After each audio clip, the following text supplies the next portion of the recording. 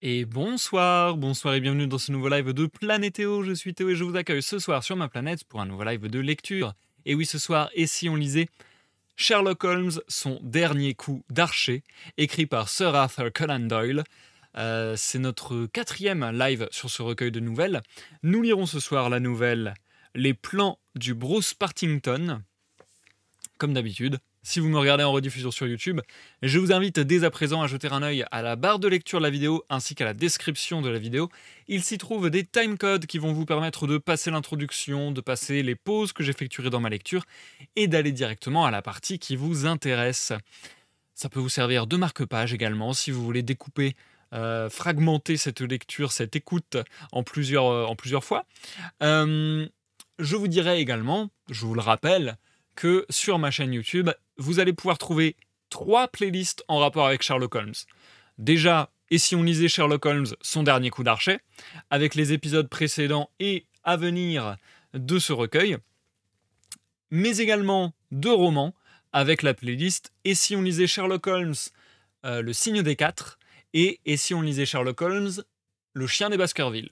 Donc voilà, si vous appréciez si vous appréciez le personnage, si vous appréciez l'univers, si vous appréciez l'auteur, il euh, y, a, du contenu de côté. N'hésitez surtout pas. Pour l'heure, comme d'habitude, je suis en live et j'accueille avec plaisir les gens qui me rejoignent dans le chat. Bonsoir Chamast, j'espère que tu vas bien. Bonsoir à tous ceux dans l'ombre. Euh, j'espère que vous allez toutes et tous bien. Euh, et du coup, J'anticipe. Bien vu, Chavast, bien vu. C'est vrai que j'allais poser cette question parce que je suis une personne polie. Euh, bonsoir, Miss Perrine, bienvenue, j'espère que tu vas bien. Euh, du coup, euh, écoutez ma foi, je vais vraiment bien. je suis dans un état un peu spécial parce que je suis stressé parce qu'en ce moment je prends des grandes décisions, on va dire, dans ma life. Mais en vrai, je vais vraiment bien là parce que justement, je pense que ce sont des, décisions pas faciles à prendre, mais que je suis sur le bon chemin. Et d'ailleurs, je peux rapidement m'entretenir avec vous de cela sans aller dans le détail, parce que bah, il y a des choses qui sont en réflexion, il y a des choses qui sont en discussion, il y a des choses aussi tout simplement qui sont du domaine de ma vie privée. Mais c'est vrai que ça aura certainement de l'impact sur les lives. Euh, et il y a des choses qui commencent à se préciser doucement. Donc j'ai envie d'en parler un petit peu. Euh, tout d'abord, juste parce que j'ai l'information en tête et je veux pas oublier, je vous rappelle que les lives de lecture ont lieu le mardi et le vendredi à 21h. Et que cette semaine, il n'y aura pas de deuxième épisode de mon émission euh, Les mots portent.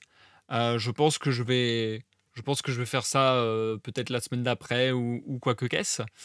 et je ne sais pas encore à quel rythme je vais faire cette émission, mais ce ne sera pas pour cette semaine, je pense.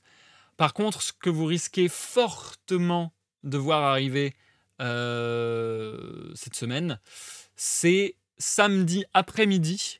Samedi après-midi, je pense faire un live de, mmh, de répertoriage de bibliothèque. Normalement, on arrive dans les toutes dernières lettres. Euh, on arrive sur les auteurs en, T ou en U, je sais plus bien. Euh, mais on arrive, on arrive sur la fin de l'alphabet. Donc, on a bientôt fait le tour intégral de ma bibliothèque en ce qu'il s'agit des romans, des recueils de nouvelles, des recueils de poésie euh, et du théâtre, en gros. sachant que c'est pas tout à fait vrai parce que depuis, je me suis acheté d'autres livres. Mais passons. on, va, on va avoir fini la première, euh, le premier tour d'horizon, en quelque sorte. Et du coup, euh, rien de ces événements-là, euh, Chamast. Ce qui va se passer, c'est que je sais pas ce que je vous dis, ce que je vous dis pas, parce qu'encore une fois, il y a des choses que je tiens à garder privées, tout simplement. mais grosso modo, disons que je vais faire un grand virage dans ma life qui va faire que pendant quelques temps, euh, je vais peut-être être un peu en mode, euh, en mode schlag, en mode euh, à l'aventure dans des endroits retirés. Je sais pas comment dire ça. Bref, en gros, j'envisage un déménagement, mais vraiment violent. C'est-à-dire que j'habite dans le nord de la France et je prévois de partir potentiellement pas dans le sud, mais à l'opposé en tout cas. donc, donc voilà, il va y avoir un grand bouleversement dans ma life. Et je vais également essayer de me trouver un job, bah voilà, j'ai envie de dire comme 99,99% des gens.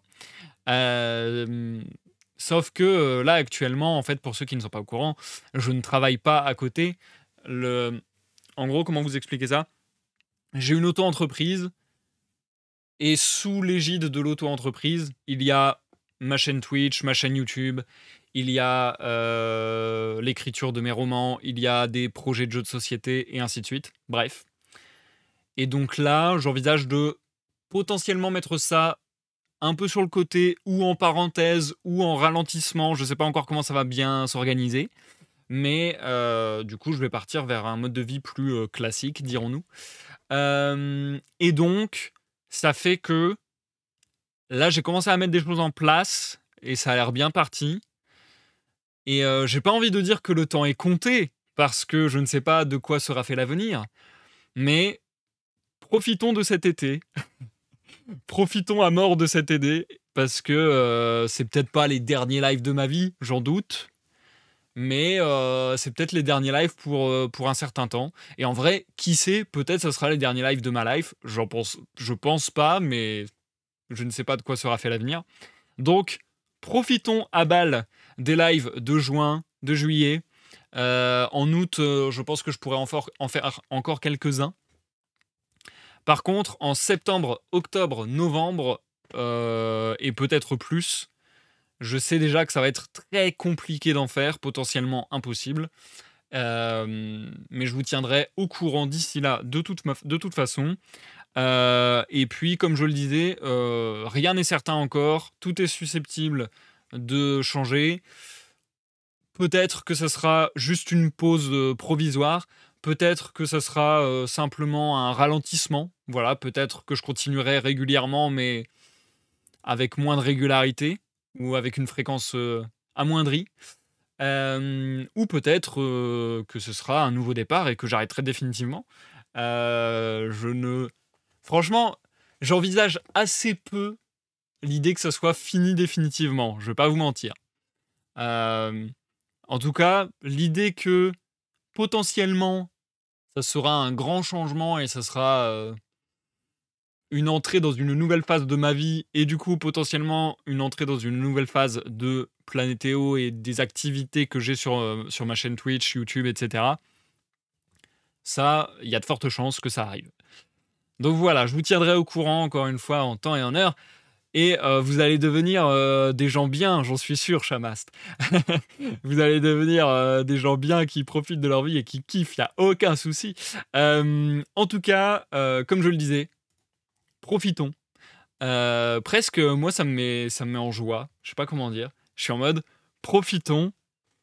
On n'est pas sur les tout derniers lives. On a encore un peu le temps de voir venir. Mais profitons de chaque instant qu'on passe ensemble. Et comme le dit, bon, il y a une phrase que j'aime bien qui ne fit pas tout à fait à la situation, mais quand même ça peut le faire un peu. Il y a une phrase que j'aime beaucoup qui est Mangez du pain, sinon il n'y en aura plus. Sous-entendu, l'offre et la demande quelque part. Donc sous-entendu, si vous appréciez quelque chose, faites-le savoir et, euh, profitez-en et, euh, et aussi faites-le savoir pour qu'on sache que vous aimiez et qu'on vous en redonne entre guillemets. Donc euh, il y a un peu ce truc là aussi. Euh, donc, euh, ouais, là, je suis un peu dans l'idée de juin, juillet, en partie août. Profitons, faisons des lives. J'en ferai peut-être même, si ça se trouve, un peu plus que d'habitude, si j'arrive à trouver les créneaux, parce que je dois aussi faire deux, trois choses euh, en, préparation de mon changement de vie, on va dire. Mais, mais ouais, profitons, kiffons et, et savourons, tout simplement.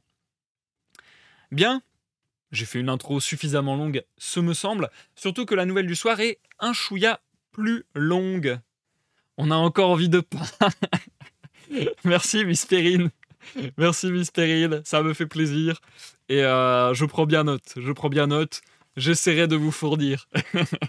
je, vais essayer de me, de me reconvertir en boulanger, promis. Euh, oui, la nouvelle du soir est un peu plus longue. Je pense que c'est la nouvelle la plus longue de ce recueil pour le moment. Euh, je vais la lire en trois parties. Et ce sont des parties, encore une fois, où ça tombe assez bien. J'arrive à tomber sur des découpes naturelles de l'auteur. Les deux fois où je vais m'arrêter ce soir, il y aura eu un euh, saut de ligne, une étoile, puis de nouveau un saut de ligne. On a vu dans les nouvelles précédentes que parfois les découpes de l'auteur étaient un peu questionnables et étranges, qu'on comprenait pas bien pourquoi à tel endroit du texte il y avait une découpe alors que c'était juste la suite logique de l'histoire. Admettons, euh, on, va, on va faire confiance à l'auteur tout simplement. J'imagine qu'il a de bonnes raisons. on va être obligé de lire nos livres nous-mêmes. Quel scandale Non, mais vous inquiétez pas, vous inquiétez pas. Et puis, pour ceux, euh, pour ceux qui s'inquiéteraient de ça, justement, je crois, ça fait, ouais, j'ai pas compté là depuis quelques, quelques ouvrages. Je pense que c'est bien possible qu'on soit à plus de 70 lectures disponibles sur ma chaîne.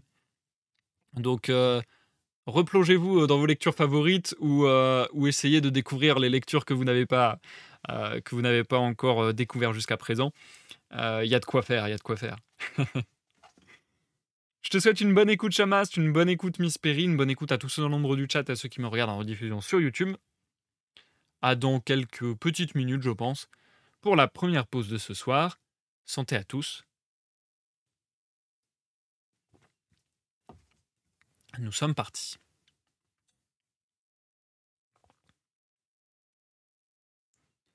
Quatrième nouvelle du recueil. Les plans du Bruce Partington. Pendant la troisième semaine de novembre 1895, un épais brouillard jaune s'établit sur Londres. Du lundi au jeudi, il nous fut, je crois, impossible de distinguer, de nos fenêtres de Baker Street, l'alignement des maisons d'en face. Holmes avait passé le premier jour à réviser son gros livre de référence, et les deux jours suivants à travailler sur un sujet qui était devenu sa marotte, la musique au Moyen Âge. Mais quand, pour la quatrième matinée consécutive, il constata après le petit déjeuner que les mêmes volutes grasses, lourdes, brunes, se balançaient encore dans la rue et se condensaient en gouttes huileuses sur les carreaux, son tempérament nerveux se révolta. En proie à une fièvre d'énergie refoulée, il se mit à arpenter notre petit salon en se rongeant les ongles, en heurtant les meubles, en maudissant son inaction. Rien d'intéressant dans le journal, Watson me demanda-t-il. Je savais que par rien d'intéressant, Holmes sous-entendait en matière criminelle. Or, le journal contenait la nouvelle d'une révolution, des informations relatives à une guerre possible et des échos sur un changement imminent de gouvernement. Tout cela se situait hors de l'horizon de Holmes. Dans le domaine du fait divers, aucun entrefilet ne méritait un intérêt particulier. Holmes gémit et reprit sa course en zigzag. Le criminel londonien est vraiment un type à l'esprit obtus, fit-il de la voix maussade du chasseur qui bat vainement les forêts. Regardez par la fenêtre, Watson. Considérez comme les silhouettes émergent à peine de ce brouillard. Un voleur ou un assassin, par un jour pareil, pourrait rôder dans Londres comme un tigre dans la jungle et choisir sa proie sans être vu jusqu'à ce qu'il lui saute dessus. Il y a eu, lui dis-je, de nombreux vols insignifiants. Holmes renifla avec mépris. Ce grand théâtre mal éclairé vaut mieux que cela. La société a bien de la chance que je ne sois pas un criminel. Bien de la chance, en effet. Supposez que je sois Brooks, ou Woodhouse, ou n'importe lequel des cinquante hommes qui ont de solides raisons de m'en vouloir à mort. Combien de temps pourrais-je échapper à mes propres coups? Une convocation truquée, un faux rendez-vous, et c'en serait fini. Il est heureux que les pays latins, pays où l'on assassine volontiers, ne connaissent pas le brouillard. Tiens, Voici enfin quelque chose qui va nous tirer de cette monotonie mortelle. La bonne entra avec un télégramme. Holmes l'ouvrit et éclata de rire. Eh bien, c'est le jour des miracles, dit-il. Mon frère Mycroft arrive. Pourquoi un miracle? Pourquoi? C'est comme si vous rencontriez un tramway sur un sentier de campagne. Mycroft a ses rails personnels et ne les quitte jamais. Son meublé de Pall Mall, le club Diogène, Whitehall, voilà sa ligne. Une fois, une seule fois, il est venu ici. Quelle catastrophe a pu le faire sortir de ses rails Il ne vous fournit aucune explication? Holmes me tendit le télégramme de son frère. Désire te voir à propos de Cadogan West, j'arrive, Mycroft. Cadogan West? Ce nom me dit, quelque chose. À moi, rien du tout. Mais que Mycroft se dérègle de cette manière, vous m'envoyez confondu. C'est comme si une planète quittait son orbite. Au fait, savez-vous qui est Mycroft? Je me rappelais vaguement l'avoir appris à l'époque de l'interprète grec. Vous m'avez dit qu'il occupait un petit poste sous les ordres du gouvernement. Holmes rit sous cap. À cette époque, je ne vous connaissais pas encore très bien, et il faut être discret quand on parle des grandes affaires de l'État. Vous avez raison de croire qu'il est sous les ordres du gouvernement. Mais vous n'auriez pas tort non plus en disant qu'à l'occasion, il est le gouvernement britannique. Mon cher Holmes, je pensais bien que je vous surprendrais. Mycroft gagne 450 livres par an, il est totalement dénué d'ambition, et il ne recevra ni honneur ni titre, mais il reste l'homme le plus indispensable du pays. Comment cela? Sa situation est unique. Il se l'est faite toute seule. Jamais elle n'a eu de précédent et il n'aura pas de successeur.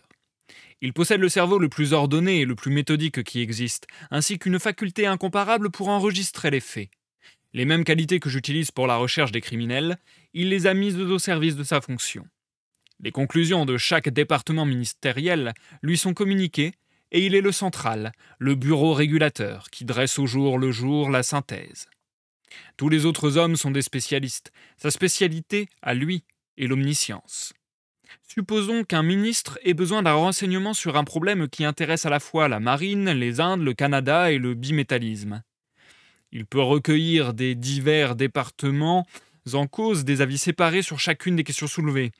Mais seul Mycroft est capable de voir l'ensemble et d'expliquer sur le champ comment chaque facteur peut affecter les autres. On l'a d'abord utilisé comme une commodité pour gagner du temps. À présent, il s'est rendu indispensable. Dans sa tête, chaque chose est classée et il peut s'en servir le moment venu. Bien des fois, il a eu son mot à dire pour décider de la politique du gouvernement. Il vit dans cette politique. Il ne pense à rien d'autre, sauf lorsque, en guise d'exercice intellectuel, je l'invite à me donner son avis sur l'un de mes petits problèmes. Mais aujourd'hui, c'est Jupiter qui descend de son Olympe. Que diable peut-il me vouloir? Qui est Cadogan West et qu'est-il pour Mycroft? Je l'ai m'écriai-je après avoir plongé dans la pile de journaux. Oui, c'est bien lui. Cadogan West et le jeune homme qui a été trouvé mort mardi matin dans le métro. Holmes se redressa attentif, la pipe à mi-chemin des lèvres. Voilà qui doit être grave, Watson. Une mort qui a incité mon frère à modifier ses habitudes n'est sûrement pas une mort ordinaire. Mais en quoi le concerne-t-elle? L'affaire était banale, si je m'en souviens bien. Le jeune homme était tombé de la rame selon toute apparence, et il s'était tué dans sa chute. Il n'avait pas été dévalisé, et il n'y avait aucune raison de suspecter une malveillance quelconque. Est-ce exact, Watson? Une enquête a eu lieu, répondis-je, et un certain nombre de faits nouveaux ont été mis au jour. Vu de plus près, je dirais que l'affaire est assez, étrange. À en juger par son effet sur mon frère, j'incline à penser qu'elle n'est pas banale. Il se recroquevilla sur son fauteuil. Allons, Watson, quels sont ces faits nouveaux? L'homme s'appelait Arthur Cadogan West. Il avait 27 ans et était célibataire. Il travaillait comme secrétaire à l'arsenal de Woolwich. Employé du gouvernement, donc. Voilà la liaison avec mon frère Mycroft. Il a quitté Woolwich soudainement lundi soir. Sa fiancée, mademoiselle Violet Westbury, est la dernière personne qui l'ait vue. Il lui a dit au revoir assez brusquement ce soir-là à 7h30 dans le brouillard. Il ne s'était pas disputé, elle ne peut pas s'expliquer son geste. On ne sait plus rien de lui, sinon que son corps a été découvert par un poseur de voix juste à côté du quai de la station de métro d'Aldgate. Il était mort. Quand? Le corps a été découvert à 6 heures mardi matin. Il gisait à l'écart des rails sur le côté gauche de la voie se dirigeant vers l'est. Près de la station, à un endroit où la ligne émerge du tunnel qu'elle emprunte. La tête était fracassée, blessure qui peut avoir été provoquée par la chute. Car ce n'est qu'à la suite d'une chute que le corps a pu se trouver là. S'il avait été amené d'une rue voisine, il aurait fallu le faire passer par le portillon où se tient le poinçonneur. Ce point semble formellement éclairci. Très bien. L'affaire se présente d'une façon assez claire. Mort ou en vie, l'homme est tombé, ou bien a été précipité d'une rame. Continuez.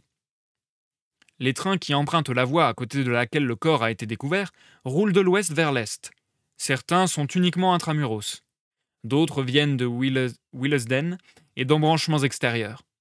Il peut être tenu pour certain que ce jeune homme, quand il trouva la mort, voyageait dans cette direction à une heure tardive de la nuit. Mais par contre, il est impossible de préciser à quelle station il monta dans la rame. Son billet devrait l'indiquer, voyons. Il n'avait pas de billet dans ses poches. Pas de billet Ma foi, Watson, voilà qui est très bizarre. Il est impossible d'accéder à un quai du métro sans présenter un ticket. Donc, vraisemblablement, ce jeune homme devait avoir le sien. Lui a-t-il été dérobé afin que ne soit pas révélée la station où il avait pris le métro? C'est une hypothèse. À moins qu'il ne l'ait laissé tomber dans le compartiment. Deuxième hypothèse. Mais ce détail est curieux. Il ne semble pas avoir été dévalisé, n'est-ce pas? Non.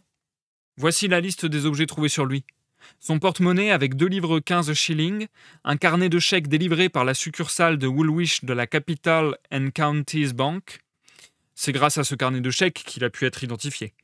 Il avait encore deux billets de premier balcon pour le théâtre de Woolwich, valables pour ce même soir. Et enfin, un petit paquet de papier technique. Holmes poussa une exclamation de contentement. Nous avons tout, Watson. Le gouvernement anglais, l'arsenal de Woolwich, papier technique, mon frère Mycroft, la chaîne est complète. Mais le voici qui arrive, si je ne me trompe pas, et qui va tout nous dire. Une seconde plus tard, notre porte s'ouvrit sur le grand et imposant Mycroft Holmes. Il était de stature lourde, massive. Extérieurement, il donnait une impression de passivité physique et de gaucherie. Mais au-dessus de cette corpulence pesante se dressait une tête dont le front était si dominateur, les yeux gris acier si vifs, les lèvres si fermes, la physionomie si subtilement nuancée, qu'après le premier coup d'œil, on oubliait le corps pour ne plus regarder que le visage. Sur ses talons, notre vieil ami Lestrade le suivait. Le policier de Scotland Yard avait la figure grave. Leur mine annonçait un événement capital. Sans un mot, le détective nous serra la main, Mycroft Holmes émergea de son par-dessus, échu dans un fauteuil. Très ennuyeuse cette affaire, Sherlock, dit-il. Je déteste modifier mes habitudes, mais il fallait absolument que je vienne chez toi. Étant donné les nouvelles du Siam, il est regrettable que j'ai quitté mon bureau. Toutefois, il s'agit d'une véritable crise. Jamais je n'ai vu le Premier ministre aussi bouleversé. Quant à l'amirauté, on y bourdonne comme dans une ruche retournée. Tu as lu ce que la presse en dit? Nous venons de lire un journal. De quel papier technique s'agissait-il? Ah Voilà le hic. Heureusement, cette précision n'a pas été divulguée.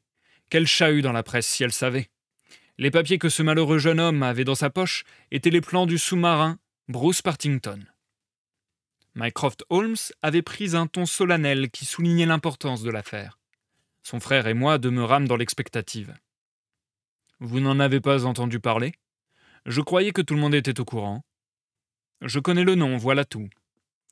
Ces plans sont d'un intérêt vital. De tous les secrets du gouvernement, c'est celui qui a été le plus jalousement gardé. Apprends en résumé que toute guerre navale devient impossible dans le rayon d'action d'un Bruce Partington. Il y a dedans, une très forte somme a été prélevée dans le budget pour acheter le monopole de l'invention. Rien n'a été négligé pour tenir l'affaire secrète. Les plans, qui sont extrêmement compliqués, qui comportent une trentaine de brevets séparés dont chacun est indispensable à la réalisation de l'ensemble, étaient placés dans un coffre à toute épreuve, à l'intérieur d'un bureau privé attenant à l'arsenal. Les portes et les fenêtres de cette pièce sont inviolables. Sous aucun prétexte, les plans ne devaient quitter le bureau. Si l'ingénieur en chef de la marine désirait les consulter, il était obligé de se rendre dans le bureau de Woolwich. Et malgré toutes ces précautions, voilà que nous les trouvons dans les poches d'un jeune secrétaire en plein cœur de Londres. Du point de vue officiel, c'est tout simplement abominable. Mais ils ont été retrouvés. Non, Sherlock, non. Nous ne les avons pas retrouvés. Dix plans ont été volés à Woolwich. Il y en avait sept dans les poches de Cadogan West. Les trois plans les plus importants n'y étaient plus. Ils ont disparu. Il faut que tu laisses tout tomber pour t'occuper de cela, Sherlock. Tes petites devinettes pour correctionnel n'ont aucun intérêt. Il s'agit d'un problème international vital. Tu dois le résoudre. Pourquoi Gadogan a-t-il pris les plans? Où sont ceux qui manquent? Comment est-il mort? Comment son cadavre est-il arrivé à l'endroit où on l'a trouvé? Comment le mal peut-il être réparé? Réponds à chacune de toutes ces questions, et tu auras bien mérité de ton pays. Pourquoi ne résous-tu pas toi-même le problème, Mycroft? Tu vois aussi loin que moi. C'est possible, Sherlock. Mais il faut avant tout réunir des éléments de détail. Donne-moi ces détails et d'un fauteuil je te ferai une excellente synthèse digne d'un expert criminel. Mais courir ici et là, interroger contradictoirement des poseurs de voix, Me coucher par terre avec une loupe collée à l'œil Non, ce n'est pas mon métier. Tu es le seul homme à pouvoir débrouiller l'affaire. S'il te prend la fantaisie de voir ton nom dans la prochaine promotion honorifique. Mon ami secoua la tête en souriant. Je joue le jeu uniquement pour l'amour du jeu, répondit-il. Mais ton problème présente diverses données qui ne sont pas dépourvues d'intérêt, et je serais heureux de m'en occuper. Fournis-moi quelques éléments supplémentaires, s'il te plaît. J'ai griffonné les plus essentiels sur cette feuille de papier, et j'y ai joint quelques adresses utiles. Le gardien officiel actuel de ces papiers est le célèbre expert du gouvernement Sir James Walter, dont les décorations et les titres remplissent au moins deux lignes dans un annuaire. Il a blanchi sous le harnois. C'est un gentilhomme que se disputent les maîtresses de maison les plus titrées. Son patriotisme est à l'abri de tout soupçon. Il est l'un des deux hommes à posséder une clé du coffre.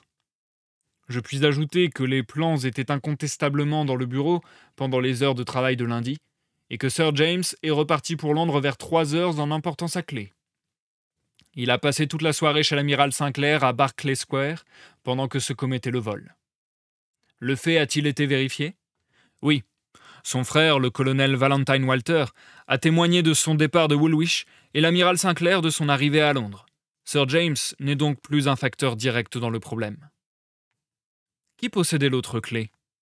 Le plus âgé des secrétaires qui est dessinateur, M. Sidney Johnson. Il a 40 ans, il est marié, il a cinq enfants. C'est un homme taciturne, maussade, mais il est considéré comme un fonctionnaire digne d'éloge. Ses collègues ne l'aiment guère, peut-être parce qu'il est grand travailleur. Il a déclaré, et cette déclaration n'a pu être confirmée que par sa femme, qu'il n'avait pas bougé de chez lui lundi soir en rentrant de son bureau, et que sa clé n'avait jamais quitté la chaîne de montre à laquelle elle était attachée. Parle-nous de Cadogan West. Depuis dix ans, il était au service, et bien noté. Il avait la réputation d'être impulsif et impétueux, mais aussi d'avoir de la droiture et de la probité. Nous n'avons rien contre lui. Au bureau, il était adjoint de Sidney Johnson. Ses fonctions l'obligeaient à manipuler chaque jour et personnellement les plans. Personne d'autre n'y touchait.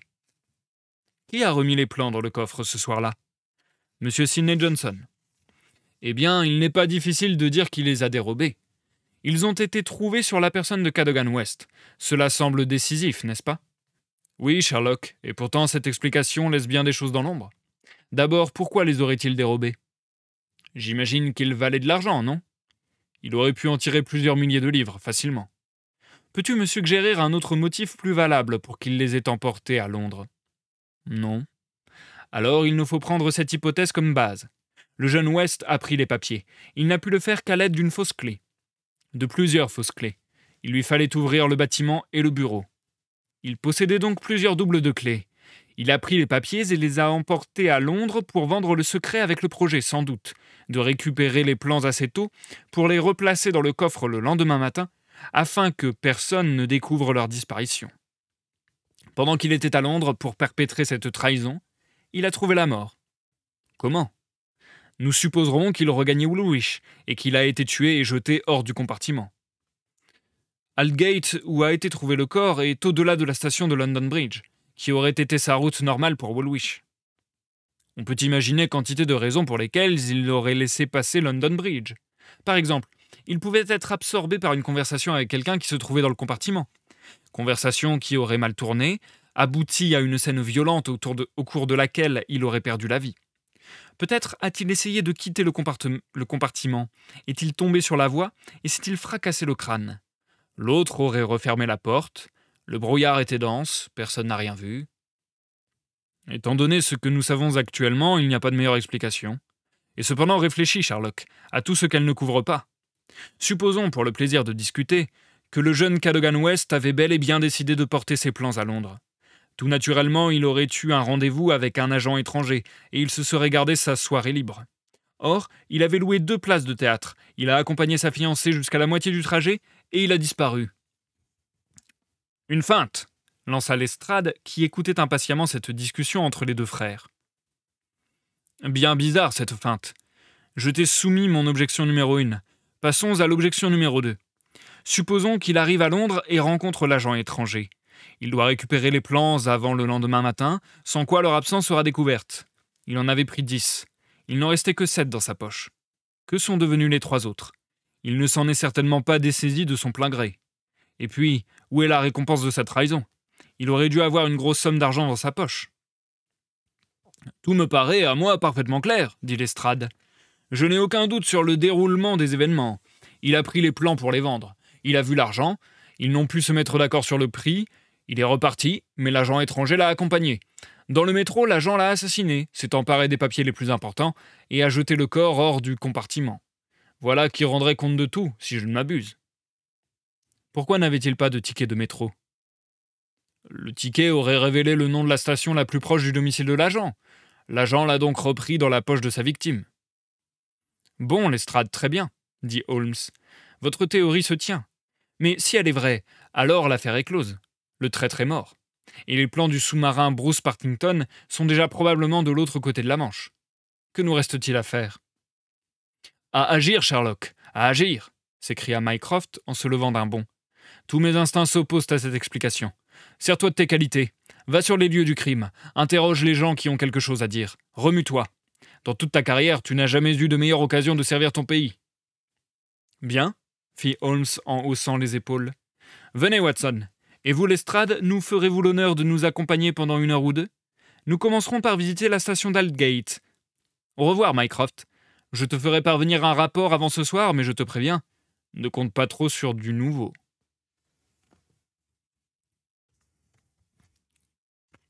Et je m'arrête là pour la première partie de lecture de ce soir. On se marque une toute mini courte pause. En effet, on a deux Holmes pour le prix d'un. Deux Holmes pour le prix d'un ce soir. Euh, ça fait plaisir. Je trouve que ça instaure une certaine dynamique intéressante.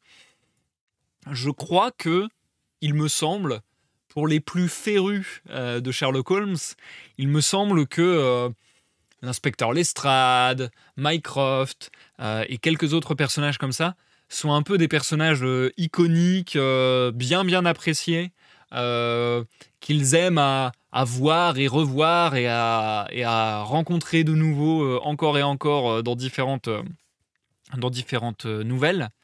et c'est vrai que je peux grave comprendre ce sentiment parce que même moi qui connais assez peu le mythe Sherlock Holmesien, c'est vrai que je me dis ah il y a son frère c'est cool. Euh, et, de voir leur interaction leur interaction leur discussion je trouve que ça marche super bien. Je croyais moi personnellement peut-être euh, que je me trompe ou peut-être que c'est délayé dans d'autres nouvelles euh, romans mais je croyais moi personnellement que Mycroft et Sherlock Holmes se vouaient une espèce d'aine une espèce de ou peut-être simplement une espèce de compétitivité fraternelle je sais pas mais euh, j'avais l'impression que leur rapport était compliqué. Et là, j'ai été assez étonné du coup de voir que Sherlock Holmes faisait, plutôt l'éloge de Mycroft, euh, en disant euh, presque que, que Mycroft était aussi intelligent que lui quelque part, voire peut-être même plus. Et, et, du coup, ça m'a étonné de voir Sherlock Holmes parler de la sorte, parce que je ne pense pas qu'il soit du genre à dire ça de beaucoup de monde à, reconnaître que certains, certaines personnes aient des qualités euh, l'égalant ou le dépassant. Je pense vraiment pas que ce soit une habitude pour Sherlock Holmes. Euh, donc c'était assez, c'était assez intéressant de voir ça. Euh, et après leur interaction vraiment à proprement parler, leur dialogue est vraiment cool parce que du coup, t'as l'impression d'avoir deux génies qui se qui se complètent, qui se comprennent très rapidement, très fluides. En fait, c'est ça ça a rendu le dialogue extrêmement fluide. Et du coup, pour faire passer beaucoup d'informations en peu de temps au lecteur, je trouve que ça fonctionne très très bien comme méthode. Parce que c'était très fluide et on était en mode Ah, ok, là, euh, ils savent de quoi ils parlent, ils savent où ils vont. Euh, très rapidement, ils, ils infirment euh, des possibilités et ils explorent chaque hypothèse voilà, en, définissant très vite si elles sont plausibles ou non. Donc euh, j'aime beaucoup cette manière-là de, faire. Euh, c'est grave intéressant. C'est grave grave intéressant. J'aime beaucoup. Et, euh, et on sent aussi chez Mycroft. Alors justement, on voit. Et là, c'est pour le coup, rendons, rendons à, César ce qui est à César. Arthur Conan Doyle, quand même, n'écrit pas mal. Hein. Je, je sais pas. Je trouve pas qu'il a un style ultra, ultra reconnaissable. Encore que, encore que, c'est une chose que je vous ai déjà dit souvent en live, on peut se demander si, quelque part, euh, on, comment dire, quelque part, son style nous est reconnaissable parce qu'il a imprimé une manière d'organiser des histoires, de structurer des histoires, de créer certains personnages euh, détectives, très déductifs, je sais pas si ça se dit, bref, capable de faire des déductions de fou et tout. Euh, et, euh, ensuite, ça a été récupéré, récupéré, récupéré. Et nous, maintenant, on baigne là-dedans. Comme je vous dis souvent, 90% des séries télévisées, bon, j'exagère peut-être, mais en vrai, je suis pas sûr. Hein vraiment, par série télévisée, j'entends vraiment qui passe sur un, qui passe sur un poste de télévision. C'était peut-être aussi plus le cas quand j'étais, euh, genre, euh, dans mon enfance, dans mon adolescence. Maintenant qu'il y a les plateformes sur Internet, c'est un peu différent, mais.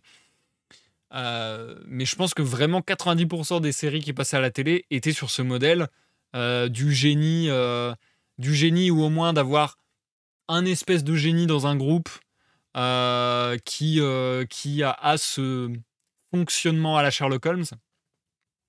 Donc voilà, quelque part, Conan Doyle a peut-être lui-même inventé, entre guillemets, ce mythe et euh, cristallisé ce mythe, cette manière de structurer les histoires, cette manière de créer un personnage, de, caractériser un personnage.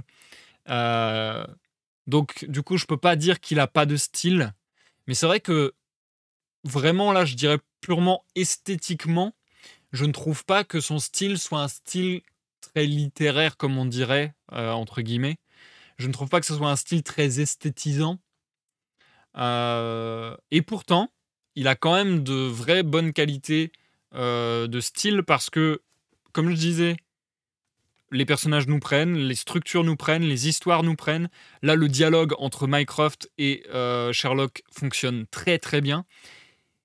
Et notamment, il fonctionne très très bien parce que Sherlock et Mycroft, qui sont tous les deux des sortes de génies, euh, et qui se répondent très rapidement, et qui sont frères en plus. Donc euh, on pourrait se dire qu'ils se ressemblent. Eh bien, oui, ils se ressemblent, et pourtant je trouve qu'on arrive très très bien à les distinguer. Je trouve qu'au sein du dialogue, on voit très très, de façon très très marquée euh, qu'ils ont une comment dire, une personnalité vraiment différente. Euh, et, ça, je trouve que c'est une preuve que qu'Arthur Conan Doyle écrit vraiment bien. Euh, c'est d'ailleurs un, commentaire qui est fait très souvent sur des, euh, je vais dire sur des auteurs amateurs. C'est ce commentaire de dans les dialogues, tous vos personnages parlent pareil et on n'a pas l'impression qu'ils aient de personnalité propre. On a l'impression que strictement tout le monde a la même personnalité et s'exprime de la même façon. Ça, c'est vraiment, vraiment un truc qui peine beaucoup, je trouve. Enfin, je trouve que c'est un, constat qu'on peut faire très souvent euh, dans les œuvres euh, d'auteurs amateurs. Et là, c'est pas le cas du tout. Donc non, j'ai vraiment kiffé, j'ai vraiment bien kiffé euh, ce début d'enquête. J'ai hâte de découvrir la suite. Et du coup, merci pour ton mot chamaste, pour les mots de la fin. je vais essayer de faire les mots de la fin quand même ce soir, mais je ferai peut-être court. Peut-être que je ferai que le métro londonien du coup. Euh, parce que oui, moi ça m'a pas choqué spécialement qu'il y ait déjà le métro à l'époque. Après, le métro, je pense que ça peut recouvrir beaucoup de transports finalement. Donc euh, sous quelle forme était ce métro à cette époque, ça ça peut être intéressant.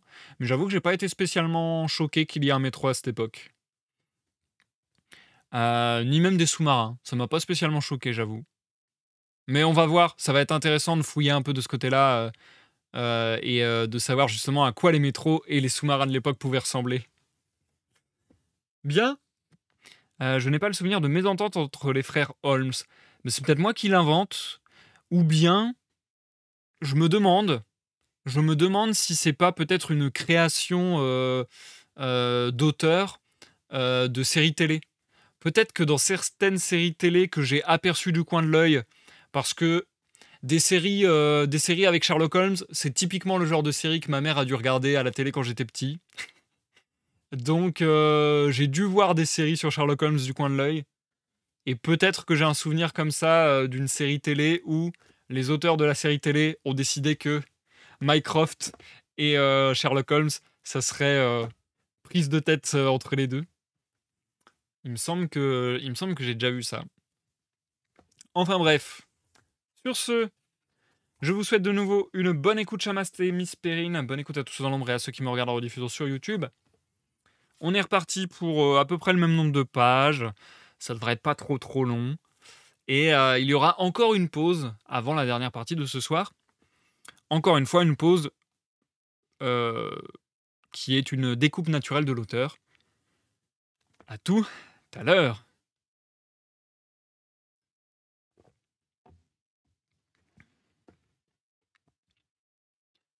Les plans du Bruce Partington, suite. Une heure plus tard, Holmes, Lestrade et moi, nous nous tenions sur la voie du métro, à l'endroit où il sort du tunnel, juste à l'entrée de la station d'Aldgate. Un vieux monsieur courtois et rougeau représentait la compagnie. Voilà la place où était étendu le corps du jeune homme, nous dit-il. Il n'a pas pu tomber de là-haut puisque les murs sont pleins. Il n'a pu tomber que d'une rame, et cette rame, pour autant que nous avons pu l'identifier, a dû passer lundi vers minuit. Les compartiments ont-ils été examinés Et y a-t-on relevé des traces de lutte? Aucune trace de lutte, et son billet n'a pas été retrouvé. On n'a pas constaté qu'une porte était restée ouverte. Non. Nous avons enregistré ce matin un nouveau témoignage, dit Lestrade. Un passager qui était à bord d'une rame de métro passant par Aldgate vers 11h40 lundi soir déclare avoir entendu le bruit mat d'une chute lourde, comme celle d'un corps tombant sur la voie, juste avant que la rame n'atteigne la station. Mais il y avait un épais brouillard et il n'a rien vu. Sur le moment, il n'avait fait aucune déposition.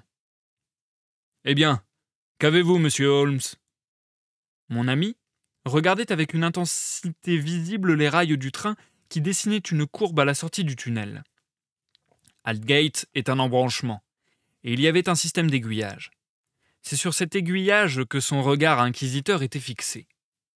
Je vis sur son visage aigu et sensible cette crispation de la bouche, ce frémissement des narines, ce plissement du front que je connaissais bien. L'aiguillage, murmura-t-il. L'aiguillage. Eh bien, que voulez-vous dire? Je suppose qu'il n'y a pas beaucoup d'aiguillages sur une ligne comme celle-ci. Non, il n'y en a que très peu. Et un virage aussi. Un aiguillage et un virage. Mon Dieu, si c'était aussi simple que cela. Que quoi, monsieur Holmes? Avez-vous un indice? Une idée, pas plus. Mais l'affaire devient tout à fait intéressante. Unique, absolument unique. Au fait, pourquoi pas? Je ne vois pas de traces de sang sur la voie. Il n'y en avait presque pas mais je croyais qu'il s'agissait d'une blessure considérable. L'os avait été fracassé, mais la blessure externe n'était pas considérable. Tout de même, je me serais attendu à des traces de sang. Me serait-il possible d'inspecter la rame à bord de laquelle le passager a entendu le bruit mat d'une chute dans le brouillard? Je crains que non, monsieur Holmes. La rame a été défaite, et ses voitures réparties sur d'autres trains.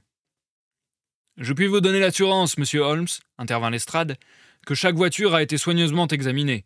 J'y ai veillé personnellement. Mon ami avait une grande faiblesse. Il supportait malaisément des intelligences moins vives que la sienne. Sans doute ont-elles été convenablement examinées, répondit-il en se détournant. D'ailleurs, ce n'étaient pas les compartiments que je désirais regarder. Watson, nous n'avons plus rien à faire ici. Nous avons fini de vous importuner, monsieur Lestrade. Je crois que notre enquête doit se poursuivre à Woolwich. London Bridge, Holmes rédigea un télégramme pour son frère. Il me le tendit avant de l'expédier. Il était ainsi conçu. Une lueur dans les ténèbres, mais elle peut s'éteindre. En attendant, et l'obligeance de me faire porter par un messager à Baker Street une liste complète de tous les espions étrangers et agents internationaux connus en Angleterre, avec leurs adresses complètes. Sherlock.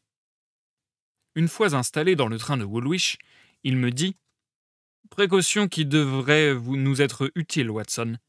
Quoi qu'il advienne, nous devons être reconnaissants à mon frère Mycroft de nous avoir mêlés à une affaire qui promet d'être passionnante. Son visage aigu avait conservé cette expression d'énergie intense, où je lisais qu'un élément neuf était intervenu pour stimuler son intelligence. Regardez un chien courant dans un chenil. Il a les oreilles basses et la queue tombante. Regardez le même chien qui, muscles tendus et yeux luisants, court sur une piste bien chaude. Vous aurez une idée du changement qui s'était opéré sur Holmes depuis le matin. Il y a de la matière. Il y a un champ d'action, me dit-il. J'ai été vraiment stupide de n'avoir pas entrevu tout de suite les possibilités de l'affaire. Jusqu'ici, moi, je n'entrevois rien. Remarquez que je n'entrevois pas tout, mais je suis sur une piste qui peut nous mener loin. L'homme a été tué ailleurs, et son cadavre était sur le toit d'un compartiment. Sur le toit? Peu banal, n'est-ce pas? Mais écoutez-moi bien. Est-ce par coïncidence que le corps a été découvert à l'endroit même où la rame tressaute et penche légèrement parce qu'elle vire sur l'aiguillage? N'est-ce pas l'endroit où le plus vraisemblablement doit tomber un objet quelconque placé sur le toit? L'aiguillage n'aurait rien provoqué à l'intérieur de la rame. Ou bien le cadavre est tombé du toit, ou bien il s'agit d'une coïncidence fort étrange. Maintenant réfléchissez aux traces de sang. Si le corps avait perdu son sang ailleurs, il ne pouvait pas y en avoir beaucoup sur la voie. Chaque élément est assez évocateur par lui-même, je crois. Reliés ensemble, ils prennent une force très suggestive. Et ils expliquent l'absence du ticket, m'exclamai-je.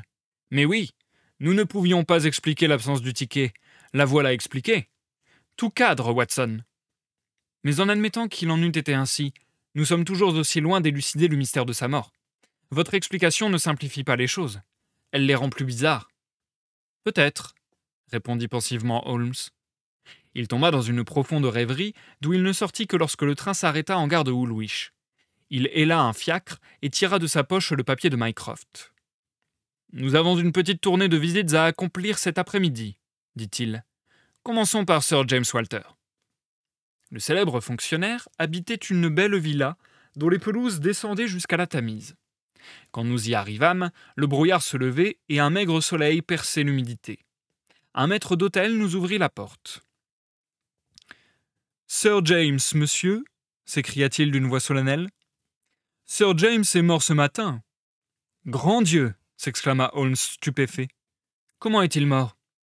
Peut-être voudriez-vous entrer, monsieur, et voir son frère, le colonel Valentine. Oui, nous ne demandons pas mieux. Nous fûmes introduits dans un salon peu éclairé, où nous rejoignit bientôt un bel homme d'une cinquantaine d'années, très grand, le menton décoré d'un collier de barbe blonde. C'était le frère cadet du grand ingénieur. Ses yeux farouches, ses joues mal rasées, ses cheveux dépeignés révélaient la brutalité du coup qui avait frappé cette famille. Il avait du mal à articuler ses mots. C'est ce scandale horrible, nous dit-il. Mon frère avait un sens de l'honneur très délicat. Il ne pouvait pas survivre à une pareille affaire. Elle lui a brisé le cœur. Il était toujours si fier du rendement de ses services. Il n'a pu supporter le choc. Nous avions espéré qu'il aurait pu nous fournir quelques indications qui nous auraient aidés à élucider l'énigme. Je vous assure que l'énigme était totale pour lui comme pour vous, comme pour nous tous. Il avait communiqué à la police tout ce qu'il savait. Naturellement, il était persuadé de la culpabilité de Cadogan West. Tout le reste lui paraissait inconcevable. Vous ne pourrez rien nous dire qui puisse jeter une lueur nouvelle sur l'affaire. Je ne connais rien moi-même en dehors de ce que j'ai lu ou entendu. Je ne cherche nullement à manquer à la courtoisie, mais vous comprenez, monsieur Holmes, comme nous sommes bouleversés actuellement, et je me permets de vous prier de considérer cet entretien comme terminé. Nous regagnâmes notre fiac. Holmes me. Notre fiac. J'ai vraiment dit ça là. Pas mal, pardon. Nous regagnâmes notre fiacre. Holmes me dit C'est un développement tout à fait imprévu. Je me demande si cette mort est naturelle, ou si le pauvre diable ne s'est pas suicidé. S'il s'est suicidé, pouvons-nous en inférer qu'il se reprochait une négligence? Abandonnons cette question à l'avenir, qui se chargera d'y répondre. Pour l'instant, allons chez les Cadogan West. À la lisière de la ville, une petite maison bien tenue abritait la mère en larmes. La vieille dame était trop écrasée par son chagrin pour nous être de quelque utilité. Mais à côté d'elle se tenait une jeune fille pâle qui se présenta sous le nom de, de mademoiselle Violet Westbury. Elle était la fiancée de l'homme qui avait été tué, la dernière personne qui l'avait vue en cette nuit fatale. Je ne peux rien comprendre, monsieur Holmes, dit-elle. Depuis le drame, je n'ai pas fermé l'œil. Je ne fais que penser, penser, penser, le jour et la nuit, et je me demande encore ce que tout cela signifie. Arthur était le plus loyal, le plus chevaleresque, le plus patriote des hommes. Il se serait coupé la main droite plutôt que de vendre un secret d'État confié à sa garde. Tous ceux qui le connaissaient trouveraient absurde, Impossible, ridicule de le soupçonner. Mais les faits, mademoiselle Westbury? Je les admets, mais je ne me les explique pas. Avait-il des besoins d'argent? Non. Il avait des goûts simples, et son traitement lui suffisait amplement. Il avait économisé plusieurs centaines de livres, et nous devions nous marier dès le nouvel an. Il n'avait pas manifesté d'excitation mentale. Allons, mademoiselle Westbury, soyez tout à fait sincère. L'œil vif de mon compagnon avait décelé un petit changement dans ses manières. Elle rougit, hésita. Oui, fit-elle enfin. J'avais l'impression qu'il était préoccupé par quelque chose. Depuis longtemps? Depuis une semaine environ. Il était pensif, inquiet. Je lui en ai demandé la raison. Il a reconnu qu'il y avait quelque chose et qu'il s'agissait de son métier. C'est trop grave pour que j'en parle, même à vous, m'a-t-il dit. Je n'ai rien pu en tirer d'autre. Holmes prit un air très sérieux. Continuez, mademoiselle Westbury. Même s'il vous semble que vous parlez contre lui, continuez. Nous ne savons absolument pas où nous allons. Vraiment, je ne vois pas autre chose. Une ou deux fois, j'ai eu l'impression qu'il était sur le point de me dire quelque chose. Un soir, il m'a parlé de l'importance du secret, et je me rappelle l'avoir entendu dire que sans nul doute des espions étrangers paieraient cher pour en obtenir communication. Le visage de mon ami devint encore plus grave. Rien de plus? Il m'a dit que nous étions négligents à l'égard de ce genre d'affaires, qu'il serait certainement facile à un traître de s'emparer des plans.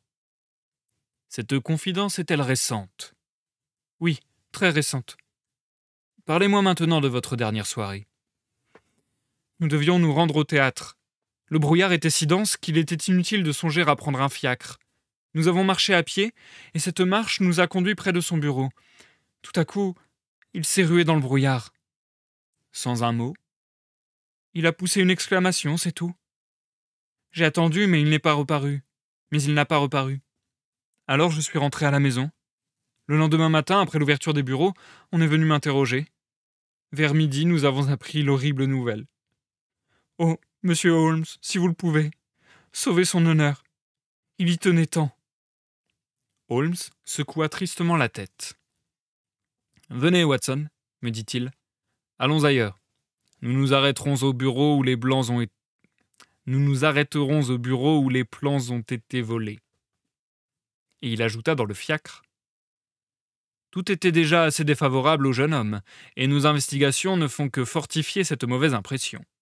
Ce projet de mariage fournit au crime un mobile. Naturellement, il avait besoin d'argent. Il avait l'idée en tête puisqu'il en avait parlé. Il a presque fait de la jeune fille sa complice en lui confiant ses plans. C'est très mauvais. Mais tout de même, Holmes, le caractère compte bien pour quelque chose. Et puis, pourquoi laisser sa fiancée dans la rue et foncer pour commettre une félonie? Très juste. Il y a des objections majeures. Mais c'est une affaire formidable à débrouiller. Monsieur Sidney Johnson, le secrétaire principal, nous reçut au bureau avec le respect que s'attirait partout la carte de visite de mon ami. C'était un homme maigre, rébarbatif, portant des lunettes. Il n'avait pas d'âge. Ses joues étaient creuses, ses mains étaient secouées de mouvements nerveux. C'est terrible, monsieur Holmes, terrible. Avez-vous appris que le chef était mort? Nous sortons de chez lui. Tout est désorganisé ici. Le chef mort, Cadogan West mort, nos papiers volés. Et pourtant, quand nous avons fermé la porte lundi soir, le bureau fonctionnait aussi bien que tous les autres bureaux du gouvernement. Mon Dieu, c'est affreux d'y penser. Ce West, avoir fait une chose pareille. Vous êtes sûr qu'il est coupable par conséquent? Je ne vois pas d'autre solution et cependant je lui aurais fait confiance autant qu'à moi-même. À quelle heure le bureau a-t-il été fermé lundi soir? À cinq heures. Est-ce vous qui l'avez fermé? Je pars toujours le dernier. Où étaient les plans? Dans ce coffre. Je les y avais mis moi-même. Il n'y a pas de gardien affecté à ce bâtiment. Si, mais il surveille d'autres bâtiments en même temps. C'est un vieux soldat, tout à fait de confiance. Il n'a rien vu ce soir-là. Rappelez-vous, le brouillard était très épais. Supposez que Cadogan West ait voulu pénétrer dans le bâtiment après la fermeture. Il lui aurait fallu trois clés, n'est-ce pas, pour parvenir jusqu'au papier du coffre. Oui, la clé de la porte extérieure, la clé du bureau et la clé du coffre. Seul Sir James et vous possédiez ces clés. Je n'avais pas les clés des portes, je n'avais que la clé du coffre. Sir James était-il un homme d'ordre? Oui, je crois. En ce qui concerne ses clés, il les gardait toujours sur le même anneau. Je les y ai souvent vus.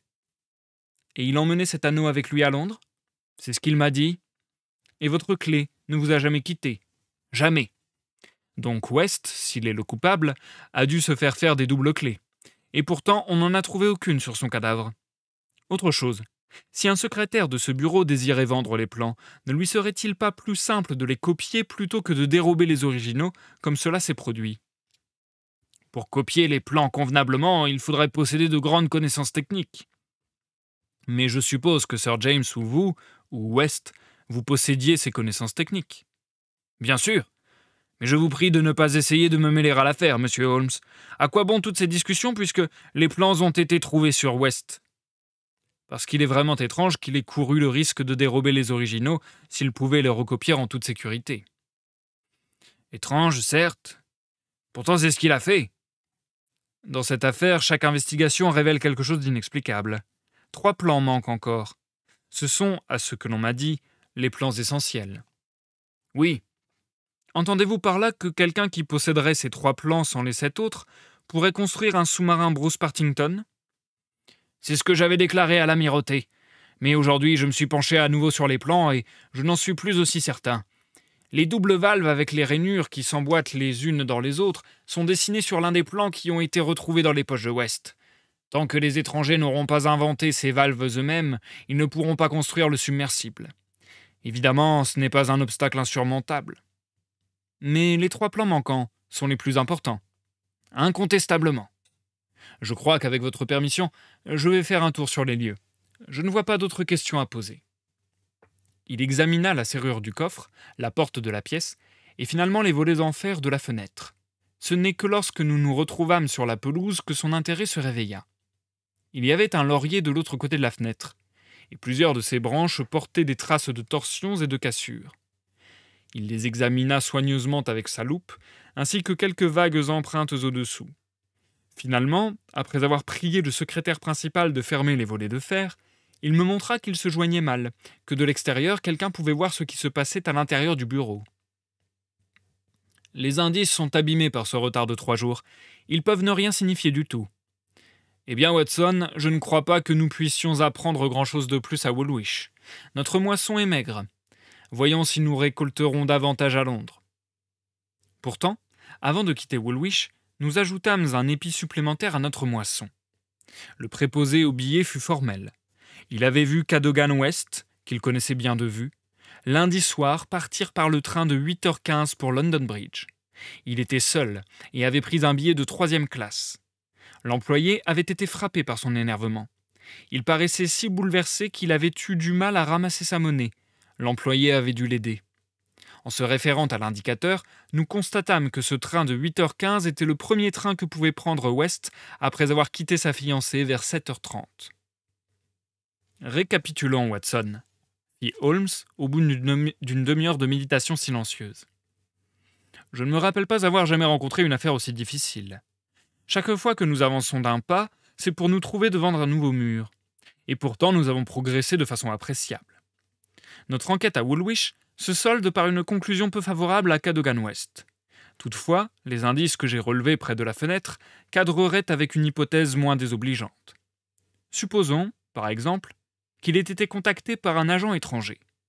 Ce contact peut avoir eu lieu de telle manière qu'il aurait été empêché d'en parler, mais qu'il en aurait été suffisamment affecté pour en avoir touché un mot à sa fiancée.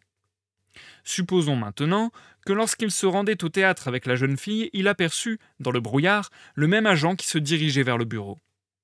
West avait un tempérament bouillant, il était prompt à se décider, et il plaçait son devoir au-dessus de tout. Il a suivi l'homme, il s'est placé contre la fenêtre, il a assisté à la subtilisation des documents, et il a poursuivi le voleur. Ainsi nous liquidons l'objection que nul n'aurait pris des documents qu'il pouvait copier. Cet étranger devait, lui, s'en emparer, parce qu'il ne pouvait pas les copier sur place. Jusqu'ici tout se tient. Et ensuite? Ensuite, les difficultés commencent. On pourrait imaginer qu'étant donné les circonstances, le jeune Cadogan aurait dû commencer par mettre la main au collet du bandit et donner l'alerte. Pourquoi ne l'a-t-il pas fait? Est-ce parce que c'était l'un de ses supérieurs qui prenait les papiers? Cela expliquerait la conduite de West. Ou dans le brouillard, le voleur a-t-il semé West et West est-il parti immédiatement pour Londres afin de le retrouver chez lui, en supposant qu'il sût où il habitait? L'affaire devait être bien urgente, puisqu'il a laissé la jeune fille seule dans le brouillard et qu'il n'a pas, pas cherché à la rejoindre. Ici, la piste se refroidit, et un trou béant s'étend entre mon hypothèse et le fait que le cadavre de West, avec sept plans dans sa poche, a été placé sur le toit d'une rame de métro. Mon instinct me commande, à présent, de repartir par l'autre bout du fil. Si Mycroft nous a préparé la liste des adresses que je lui ai demandées, peut-être identifierons-nous notre homme et suivrons-nous deux pistes au lieu d'une. Naturellement, une note nous attendait à Baker Street. Un messager officiel l'avait déposée. Holmes y jeta un coup d'œil et me la communiqua. Le menu fretin est nombreux, mais peu d'hommes seraient capables de manigancer une pareille affaire.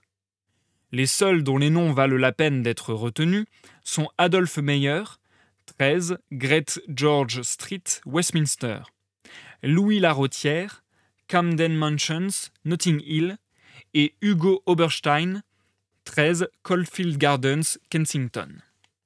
Ce dernier était à Londres lundi, on m'assure qu'il n'y est plus. Heureux d'apprendre qu'une lueur est en vue, le cabinet attend ton rapport concluant avec une impatience anxieuse, des représentations urgentes sont arrivées d'un milieu très haut placé. Toutes les forces de l'État sont à ta disposition si tu en as besoin. Mycroft. Je crains, commenta Holmes en souriant, que toute la cavalerie et toute l'infanterie de la reine ne me soient d'aucun secours dans l'affaire. Il étala un grand plan de Londres et se pencha dessus. Ah ah fit-il bientôt avec un air satisfait. Les choses prennent une tournure un peu plus favorable, Watson. Je crois honnêtement que nous allons débrouiller les chevaux. Il m'allongea une tape sur l'épaule en éclatant d'un rire soudain. Je vais sortir, rien qu'une reconnaissance. Je ne ferai rien de sérieux sans mon bon camarade et cher biographe. Demeurez ici, il y a de fortes chances pour que je sois de retour dans une heure ou deux. Si le temps vous paraît long, prenez du papier et une plume et commencez à raconter comment nous avons sauvé l'État. Sa joie était contagieuse. Je savais bien qu'il ne se serait pas départi de son flegme habituel sans une bonne raison. J'attendis pendant toute une longue soirée de novembre, de plus en plus impatient. Finalement, un peu après 9 heures, un message arriva avec ce billet. Je dîne au restaurant Goldini, Gloucester Road, Kensington. Vous prie de venir tout de suite me rejoindre. Emportez une pince Monseigneur, une lanterne sourde, un ciseau à froid et un revolver. S.H. Et c'est la fin de la lecture pour le moment. On finit euh, dans quelques petites minutes, mais d'abord, nous marquons une courte pause.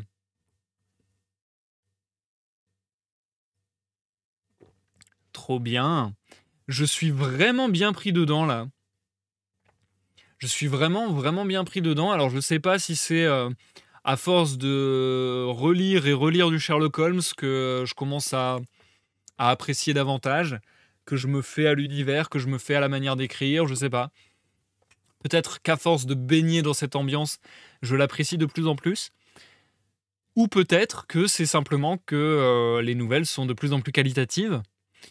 Parce que là, à titre perso, j'ai l'impression que c'est la nouvelle que je préfère pour le moment de l'œuvre. Et j'ai déjà dit ça lors de la lecture de la troisième nouvelle.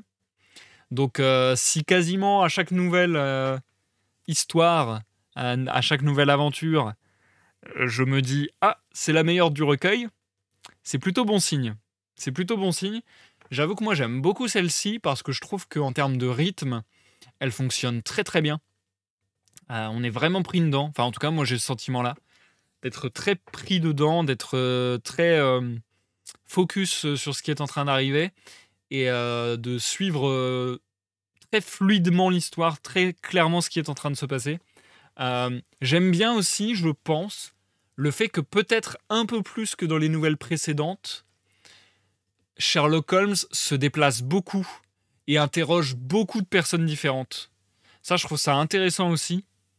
Et euh, même, ça me fait penser, pour les plus vieux d'entre vous sur la chaîne, euh, ça me fait penser à l'époque où j'avais fait, j'en ai fait un ou deux, je ne sais plus, je crois que j'avais fait un ou deux jeux, jeux vidéo, Sherlock Holmes, sur la chaîne, et ça me rappelle un peu cette ambiance-là, du coup, de vraiment devoir recouper les indices en parlant à beaucoup de gens, en voyant beaucoup de lieux. Et voilà, vraiment, je trouve que quelque part, par rapport aux nouvelles précédentes, ça fait moins la solution tombe toute, euh, toute cuite dans le bec euh, de, de Sherlock. Et plus, il doit se donner du mal, il doit aller sur le terrain, comme le disait Mycroft d'ailleurs. Comme le disait Mycroft euh, quand il est allé lui demander son aide et qu'il était en mode Vas-y, j'ai besoin que tu ailles sur le terrain, moi je sais pas faire ça. toi, va, va interroger les gens d'une manière un peu spéciale qui fait que tu arrives à, à choper des infos intéressantes et ainsi de suite. Et ouais, je pense que c'était pas aussi présent dans les nouvelles précédentes. Donc là, j'aime beaucoup cet aspect-là. J'aime beaucoup cet aspect-là. D'ailleurs, lui-même le dit, je crois. Euh, je sais plus si c'était dans la narration de Watson ou si c'était dans un dialogue. Je crois, non, je crois même que c'est Sherlock Holmes qui le dit lui-même d'ailleurs, qui dit que, euh, oui, voilà, il dit à un moment euh, que c'est euh, une, une des affaires les plus difficiles qu'il ait rencontrées, voire la plus difficile. bon, il y a peut-être un petit peu d'exagération euh, sur la personne, mais euh, euh, enfin chez la personne, mais mais c'est cool, je trouve, de le voir dans ce genre de situation où il se prend la tête un peu. Il a vraiment l'exaltation, et ça j'adore aussi voir ces changements d'humeur entre d'un seul coup il se met à murmurer et il se met en fait en mode réflexion intense, à vraiment prendre un peu de distance, prendre un peu de temps, et d'un seul coup ça clique et il devient super content. Changement d'humeur radical. Il est excité, super content. Il va sortir tout seul euh, sans prévenir euh, Watson de ce qu'il est en train de faire parce qu'il a une intuition. Euh, donc c'est vraiment. Enfin, j'aime vraiment voir travailler tout ça chez le, chez le personnage. Et dans les nouvelles précédentes, le personnage se vantait très souvent que l'enquête soit facile. Très souvent, il disait euh, Ah, bah c'est bon, on a déjà résolu l'enquête. Ah, bah c'est bon, euh, euh, j'ai déjà compris ce qui se passait. Et j'avais l'impression que ça se résolvait vraiment, vraiment facilement et vraiment, vraiment sans embûche. Là, s'il y a un plaisir, du coup, à voir le héros un peu plus prendre son temps, un peu plus galérer. Même si en réalité, je trouve aussi qu'en soi, il ne galère pas tant que ça non plus.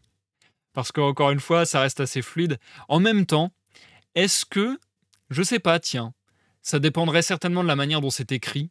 Parce que moi, je suis assez euh, fervent, euh, croyant euh, de l'idée que à peu près n'importe quel événement peut être intéressant ou pas intéressant, ça dépend vachement de comment tu le racontes.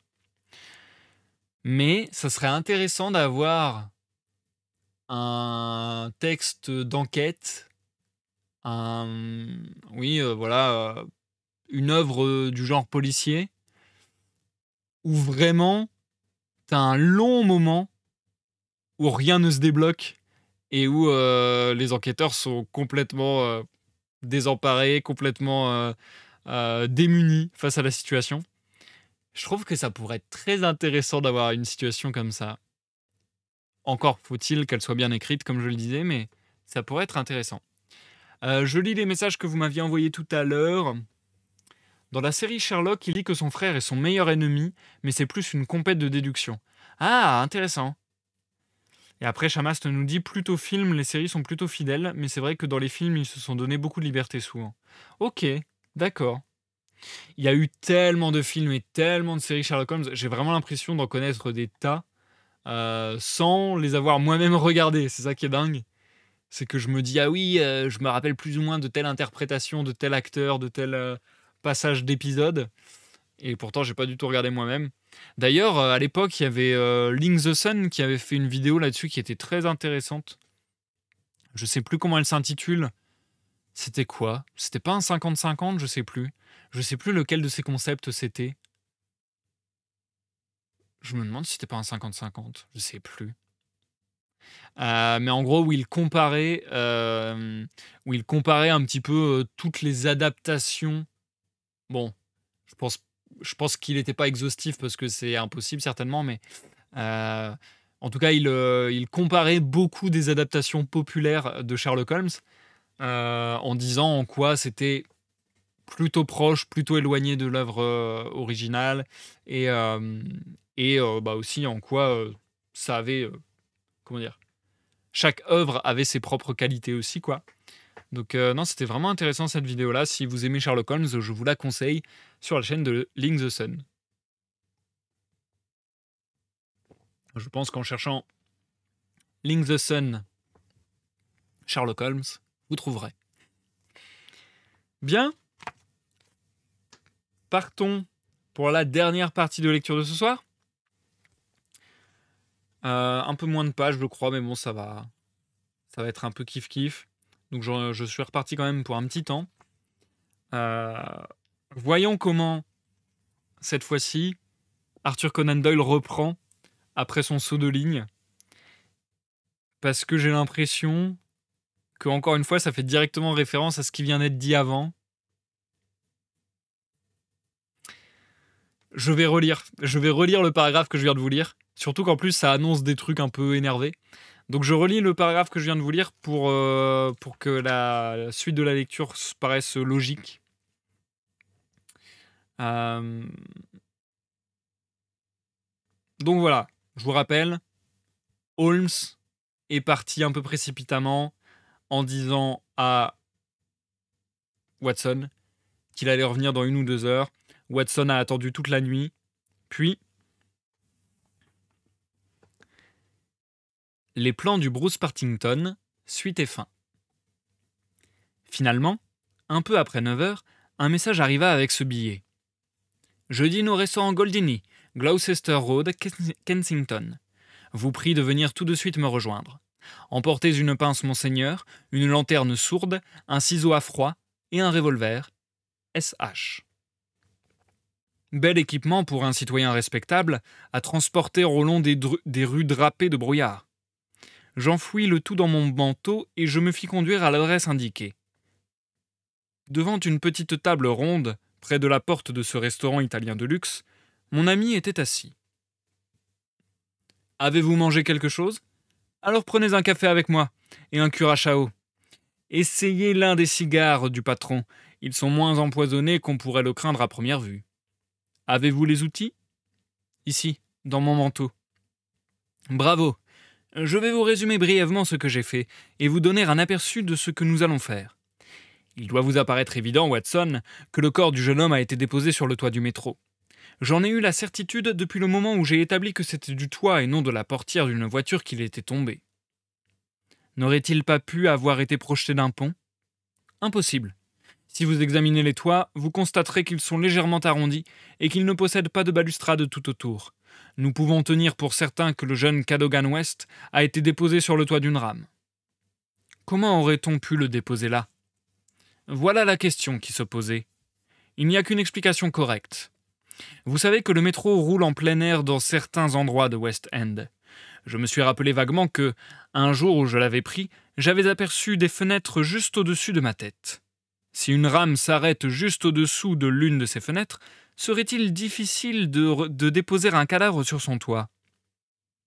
Cela me paraît tout à fait improbable, Holmes. Nous sommes obligés d'en revenir au vieil axiome selon lequel, quand toutes les autres éventualités ne cadrent pas, celle qui reste, aussi improbable soit-elle, doit être la vérité.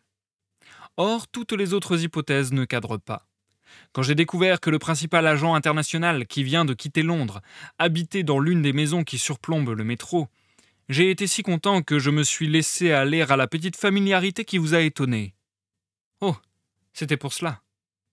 Oui, c'était pour cela. Monsieur Hugo Oberstein, du 13 Caulfield Gardens, étant devenu mon objectif, j'ai commencé mes opérations à la station de Gloucester Road.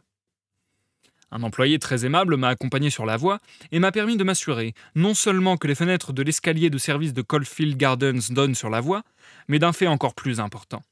Étant donné un croisement tout proche avec des voies de chemin de fer, les rames de métro demeurent parfois immobilisées pendant quelques minutes à cet endroit. Merveilleux, Holmes, vous avez résolu le problème. Pas complètement, Watson. Nous avançons, mais le but est encore loin. Après avoir contemplé les murs de derrière Caulfield Gardens, j'ai inspecté la façade et j'ai vérifié que l'oiseau s'était réellement envolé. Sa maison est très vaste, non meublée à ce que je crois dans les étages supérieurs. Oberstein vivait là avec un seul domestique, sans doute un complice qui a toute sa confiance. Nous devons nous rappeler qu'Oberstein est parti pour le continent afin de se défaire de son butin, mais non pour, s'enfuir. Il n'avait aucune raison de redouter un mandat d'arrêt ou de perquisition, et il n'a jamais dû envisager qu'un amateur se livrerait à une visite domiciliaire. C'est précisément cette visite domiciliaire à laquelle nous allons nous livrer. Ne pourrions-nous pas obtenir un mandat pour légaliser l'opération? Nous manquons de preuves formelles. Que pouvons-nous espérer trouver dans cette perquisition? Peut-être une correspondance intéressante. Je n'aime pas cela, Holmes. Mon cher ami, vous ferez le guet dans la rue et je me réserverai le rôle criminel. L'heure n'est pas aux bagatelles. Réfléchissez à la note de Mycroft, de Mycroft, à l'amirauté, au cabinet, à la personne d'un rang élevé qui attend des nouvelles. Nous sommes tenus d'agir. Mycroft et pas Minecraft. Hein. Pour toute réponse, je me levai. Vous avez raison, Holmes. Nous sommes tenus d'agir. Il se leva également et me serra la main. Je savais que vous ne flancheriez pas au dernier moment, me dit-il. Le temps d'un éclair, je lus dans ses yeux un sentiment qui se rapprochait de la tendresse. L'instant d'après, il était redevenu maître de lui et pratique. C'est à environ 800 mètres, mais nous n'avons pas besoin de nous presser. Marchons tranquillement. Je vous recommande de ne pas laisser tomber nos outils. Votre arrestation par un policeman soupçonneux serait une complication tout à fait regrettable. Caulfield Gardens était l'une de ces artères du centre où s'alignaient des maisons à piliers et à porches du style victorien moyen, comme on en voit tant dans le West End de Londres. Derrière la porte voisine devait se dérouler une réunion d'enfants, car le joyeux bourdonnement de voix jeunes et le fracas d'un piano résonnaient dans la nuit. Le brouillard n'était pas dissipé, et nous protégeait de son voile amical. Holmes avait allumé la lanterne pour éclairer la porte massive. Sérieux obstacle, fit-il. Elle est certainement défendue par des barres et verrouillée. Nous serions plus à notre aise dans la cour. Il y a une excellente voûte un peu plus bas pour le cas où un policeman trop zélé nous dérangerait. Donnez-moi un coup de main, Watson. Je vous aiderai ensuite. Bientôt, nous nous trouvâmes tous deux de l'autre côté du petit mur, dans la cour d'entrée. À peine avions-nous atteint le coin le plus ombreux que nous entendîmes au-dessus de nos têtes le pas d'un policeman. Quand il se fut éloigné, Holmes s'attaqua à la porte du bas. Je le vis se baisser et forcer jusqu'à ce que dans un craquement sec elle s'ouvrît. Aussitôt nous nous engouffrâmes dans un couloir obscur et nous refermâmes la porte de la cour derrière nous. Holmes me précéda pour gravir un escalier de pierre nue. Son petit rayon de lumière jaune éclaira une fenêtre basse. Nous y sommes, Watson. Ce doit être la bonne. Il la força. Au même moment, nous entendîmes un grondement bas, rude, qui se transforma en rugissement. C'était une rame de métro qui passait au-dessous de nous dans le noir. Holmes promena sa lanterne le long de l'appui qui était recouvert d'une couche de suie épaisse émanant des locomotives des trains. La surface noire était par endroits barbouillée et effacée. Vous voyez où ils ont posé le cadavre. Oh oh, Watson, qu'est-ce cela? Une tache de sang, sans aucun doute. Il me désigna de faibles décolorations sur la charpente de la fenêtre. En voilà une autre, sur la pierre de l'escalier. La démonstration est complète. Demeurons ici jusqu'à ce qu'une rame s'arrête. Nous n'eûmes pas longtemps à attendre. La rame suivante rugit comme la précédente en sortant du tunnel, puis, dans un grincement de frein, s'arrêta exactement au-dessous de nous. Il n'y avait pas plus d'un mètre vingt entre le rebord de la fenêtre et le toit d'un compartiment. Holmes referma doucement la fenêtre. Tout se confirme, me dit-il. Qu'en pensez-vous, Watson? Un chef-d'œuvre. Jamais, je, jamais vous ne vous êtes ossé jusque-là, Holmes.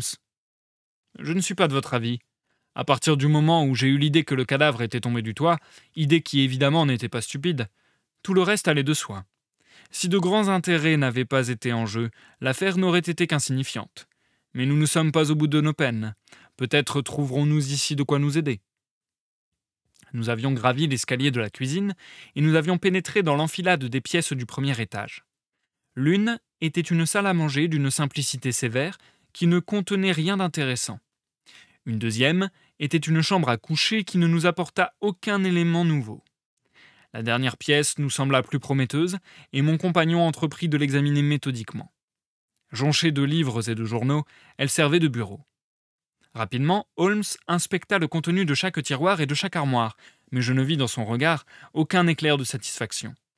Au bout d'une heure de recherche, il n'était pas plus avancé. Ce chien malin a brouillé sa piste, me dit-il. Il n'a rien laissé qui puisse l'incriminer. Sa dangereuse correspondance a été détruite ou, a été détruite ou dissimulée ailleurs. Ceci est notre dernière chance. Il s'agissait d'une petite cassette en fer blanc qui était posée sur le bureau. Holmes l'ouvrit avec son ciseau à froid. Il y avait à l'intérieur plusieurs rouleaux de papier couverts de chiffres et de calculs, sans aucune référence. Des mots revenaient sans cesse. Pression de l'eau et pression au centimètre carré. Peut-être concernaient-ils un sous-marin? Holmes, impatienté, les jeta de côté. Il ne restait plus qu'une enveloppe qui contenait quelques coupures de journaux. Il les fit tomber sur la table, tout de suite son visage m'apprit que son espérance n'était pas déçue. Que veut dire cela, Watson? Eh Une série de messages dans la colonne des annonces personnelles d'un journal. Le Daily Telegraph, à en juger par le papier et les caractères. L'angle droit supérieur d'une page. Pas de date, mais les messages se combinent. Celui-ci doit être le premier. Espérer des nouvelles plus tôt, d'accord pour les conditions. Écrire à l'adresse indiquée sur la carte, Pierrot. Voici le suivant. Trop compliqué à décrire. Rapport complet et nécessaire. L'argent sera versé contre la marchandise. Pierrot. Puis nous arrivons à Affaire presse, doit retirer l'offre si contrat n'est pas exécuté, donner rendez-vous par lettre, confirmerait par annonce, Pierrot. Enfin, lundi soir après 9h, deux coups, nous seuls. Ne soyez pas si soupçonneux. Paiement cash contre remise de la marchandise, Pierrot. Le procès verbal est presque complet, Watson. Si seulement nous pouvions attraper l'homme à l'autre bout. Il réfléchit un moment en tambourinant sur la table avec ses doigts. Après tout, cela ne sera peut-être pas difficile. Nous n'avons rien de plus à faire ici, Watson. Je pense que nous devrions aller jusqu'au Daily Telegraph et conclure dignement une journée de bon travail. Le lendemain matin, après le petit déjeuner, Mycroft, Holmes et Lestrade. Pardon, non. Le lendemain matin, après le petit déjeuner, Mycroft Holmes et Lestrade étaient accourus au rendez-vous que leur avait demandé Sherlock Holmes. Mon ami leur raconta les événements de la veille. Le policier professionnel hocha la tête quand il entendit le récit de notre cambriolage. Nous, dans la police, nous ne pouvons pas faire des choses pareilles, monsieur Holmes, murmura-t-il. Je ne m'étonne plus que vous réussissiez mieux que nous. Mais l'un de ces jours, vous irez trop loin et vous aurez des ennuis, vous et votre ami. Pour l'Angleterre, pour la patrie, pour la beauté. Hé, Watson, deux martyrs sur l'autel de la patrie. Mais toi, Mycroft, qu'en penses-tu? Excellent, Sherlock, admirable. Mais à quoi cela te servira-t-il? Holmes s'empara du délit télégraphe qui était sur la table. Avez-vous lu l'annonce de Pierrot aujourd'hui? Comment? Une autre? Oui, la voici. Ce soir, même heure, même endroit, deux coups. Importance vitale. Votre sécurité en jeu. Pierrot. Nom d'un tonnerre s'exclama Lestrade. S'il vient, nous l'avons. C'est bien ce que j'ai pensé quand j'ai fait insérer cette annonce. Je crois que si cela ne vous dérangeait pas, nous pourrions nous trouver vers 8 heures à Caulfield Garden. La solution devrait être proche. L'une des particularités les plus remarquables de Sherlock Holmes était son pouvoir de distraire son cerveau de l'action et d'aiguiller ses pensées vers des sujets légers chaque fois qu'il était persuadé qu'il ne pouvait plus améliorer sa position. Je me rappelle que pendant toute cette journée mémorable, il se plongea dans une monographie qu'il avait commencé d'écrire sur les motets polyphoniques de Lassus. Moi, qui ne possédais pas cette faculté de détachement, je trouvais les heures interminables. L'importance nationale de la conclusion, les hautes sphères suspendues à notre enquête, la nature du procédé que nous avions mis en route, tout se combinait pour chatouiller mes nerfs. Je fus réellement soulagé quand enfin, à l'issue d'un dîner léger, nous partîmes en expédition.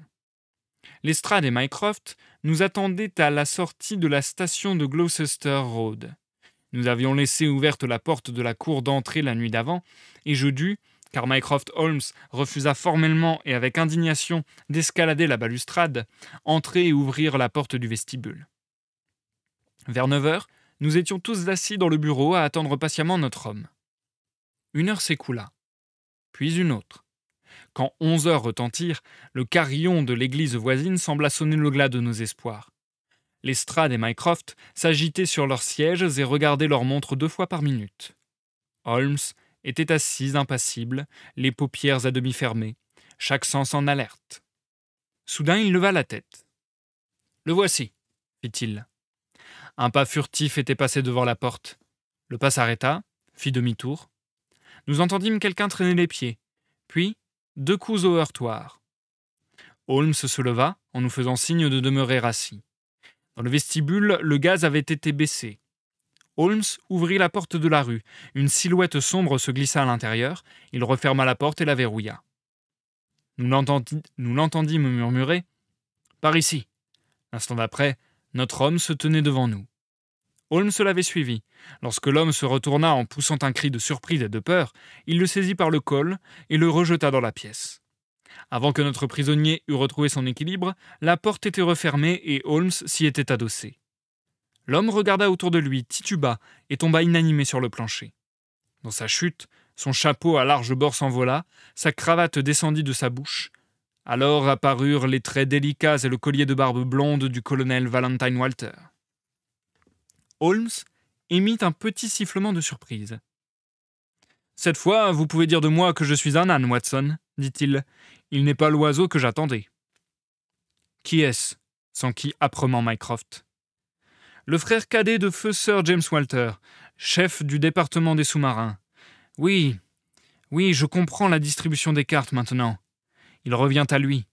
Je pense que vous feriez mieux de me laisser le, le soin de l'interroger. Nous avions porté le corps évanoui sur le canapé. Notre prisonnier se remit sur son séant, regarda autour de lui avec un visage révulsé par l'horreur, et promena une main sur son front comme quelqu'un qui n'en croit pas ses sens. Que veut dire ceci me demanda-t-il. Je suis venu pour causer avec M. Oberstein. Tout est fini, colonel Walter, répondit Holmes. J'avoue ne pas comprendre comment un gentleman anglais a pu se comporter de la sorte mais toute votre correspondance, toutes vos relations avec Oberstein nous sont connues, et aussi les circonstances de la mort du jeune Cadogan West. Permettez-moi de vous donner un conseil. Regagnez donc un peu de crédit par du repentir et une confession sincère. Il nous reste encore quelques détails à apprendre de vos propres lèvres. L'homme gémit et enfouit son visage dans ses mains. Il demeura silencieux. Je peux vous donner l'assurance, pardon, je peux vous donner l'assurance, reprit Holmes, que nous savons l'essentiel. Nous savons que vous aviez des besoins d'argent pressants, que vous aviez pris une empreinte des clés de votre frère, et que vous étiez entré en rapport avec Oberstein, qui répondait à, à vos lettres par la colonne d'annonce du Daily Telegraph. Nous savons que vous êtes descendu au bureau dans le brouillard lundi soir, mais que vous avez été vu et suivi par le jeune Cadogan West, qui avait déjà motif de vous, de vous suspecter. Il a assisté au vol que vous avez commis, mais il ne pouvait pas donner l'alarme, car il était possible, après tout, que votre frère vous eût chargé de lui porter les plans à Londres. Sans plus penser à ses affaires privées, comme le bon citoyen qu'il était, il vous a suivi de près dans le brouillard et s'est attaché à vos talons jusqu'à ce que vous soyez arrivé à cette maison. Là, il s'est montré, et c'est alors, colonel Walter, qu'à la trahison vous avez ajouté un assassinat particulièrement horrible. Non, non, devant Dieu, je jure que je ne l'ai pas tué, cria notre misérable prisonnier. Dites-nous dans ce cas comment Cadogan West est mort avant que vous ayez placé son cadavre sur le toit d'une rame de métro. Je vais vous le dire. Je vous assure que je vais vous le dire. J'ai fait le reste, je l'avoue. Tout s'est passé comme vous venez de l'expliquer. J'avais à payer une dette de bourse. Il me fallait de l'argent à tout prix. Oberstein m'a offert cinq mille livres. C'était pour me sauver de la ruine. Mais pour ce qui est du meurtre, je suis aussi innocent que vous. Expliquez-vous. Il me soupçonnait en effet depuis quelque temps et il m'a suivi. Je ne m'en suis pas aperçu avant d'être arrivé ici. Le brouillard était dense, on ne voyait rien à plus de trois mètres. J'avais frappé deux coups et Oberstein m'avait ouvert. Le jeune homme se rua par l'entrebâillement de la porte et nous demanda ce que nous avions à faire avec les plans. Oberstein avait une courte matraque. Il la portait toujours sur lui. Quand West s'est introduit dans la maison, Oberstein l'a assommé d'un grand coup sur le crâne. Cinq minutes plus tard, West mourait. Son corps gisait dans le vestibule, et nous ne savions comment nous en débarrasser. C'est alors qu'Oberstein songea au train qui s'arrêtait sous la fenêtre de derrière. Mais d'abord il examina les plans que j'avais apportés. Il dit que trois étaient essentiels et qu'il devait les garder. Vous ne pouvez pas les conserver, lui répondis-je. Ce sera une bagarre terrible à Woolwich si je ne les rapporte pas. Il me répéta qu'il devait les conserver en arguant du fait qu'ils étaient techniquement si compliqués qu'il n'avait pas le temps d'en prendre copie. Je répliquai que tous devaient être rapportés cette même nuit. Il réfléchit un peu, puis s'écria qu'il avait une idée. Je garderai les trois principaux, et nous mettrons les autres dans la poche de ce jeune homme.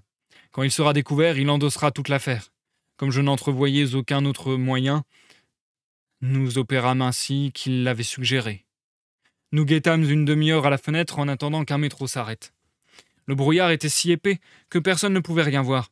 Nous n'avons donc pas eu de difficultés à balancer le corps de West sur le toit du métro. En ce qui me concerne, l'affaire s'est terminée là. Et votre frère? Il ne m'a rien dit, mais il m'avait surprise une fois avec ses clés, et je crois qu'il se méfiait de moi. J'ai lu dans ses yeux qu'il pensait que j'étais le coupable. Comme vous le savez, il ne me regardera plus jamais. Un silence s'établit dans la pièce. Mycroft Holmes imite un terme. Ne pouvez-vous pas réparer? Une réparation soulagerait votre conscience et réduirait votre châtiment. À quelle réparation pensez-vous? Où, Où est Oberstein avec les plans? Je ne sais pas. Il ne vous a pas laissé d'adresse? Il m'a dit de lui écrire le cas échéant à l'hôtel du Louvre à Paris. Alors vous pouvez réparer, dit Sherlock Holmes. Tout ce qui est en mon pouvoir, je le ferai. Je ne dois rien à cet homme. Il a été la cause de ma déchéance. Voici du papier et de l'encre. Asseyez-vous à ce bureau et écrivez sous ma dictée. L'adresse sur l'enveloppe, d'abord. Bien. Maintenant la lettre. Cher monsieur, à propos de notre accord, vous avez sans nul doute remarqué qu'un détail essentiel vous manque. Je possède un dessin qui complétera le tout. Toutefois, j'ai dû surmonter de nouvelles difficultés et je suis dans l'obligation de vous demander 500 livres supplémentaires. Je ne le confierai pas à la poste, et je n'accepterai que de l'or ou des billets de banque. J'irai bien à l'étranger pour vous rencontrer, mais mon départ ferait peut-être jaser actuellement. J'espère donc vous voir samedi à midi dans le fumoir du Kering Cross Hotel. J'insiste sur le fait que je n'accepterai que de l'or ou des billets de banque. Voilà, je serais bien étonné si notre homme n'accourait pas. Il a couru. C'est un point d'histoire, de l'histoire secrète qui est souvent bien plus passionnante que l'histoire publique, qu'Oberstein, désireux de parachever le coup de sa vie, tomba dans le panneau et fut condamné à 15 ans de prison. Dans sa valise, les plans du Bruce Partington furent retrouvés. Il s'apprêtait à les vendre aux enchères dans tous les bureaux européens de la marine. Le colonel Walter mourut en prison. Quant à Holmes, il retourna avec un entrain renouvelé à sa monographie sur les motets symphoniques de Lassus. Elle a fait l'objet d'un tirage privé. Les experts affirment qu'elle a épuisé le sujet. Quelques semaines plus tard, j'appris par hasard que mon ami avait passé une journée à Windsor, d'où il était revenu avec une splendide émeraude montée en épingle de cravate. Quand je lui demandai s'il l'avait achetée, il me répondit que c'était le cadeau d'une certaine gracieuse dame pour le compte de laquelle il avait eu la chance de réussir une fois une petite affaire. Il ne m'en dit pas davantage, mais je parierais bien que je connais le nom de cette auguste personne, et je crois que cette épingle de cravate rappellera toujours à mon ami l'aventure des plans du Bruce Partington. Et c'est la fin de la quatrième nouvelle de ce recueil, Les plans du Bruce Partington. Ce sera donc également la fin de ce live. Nous passons à l'outro, les amis.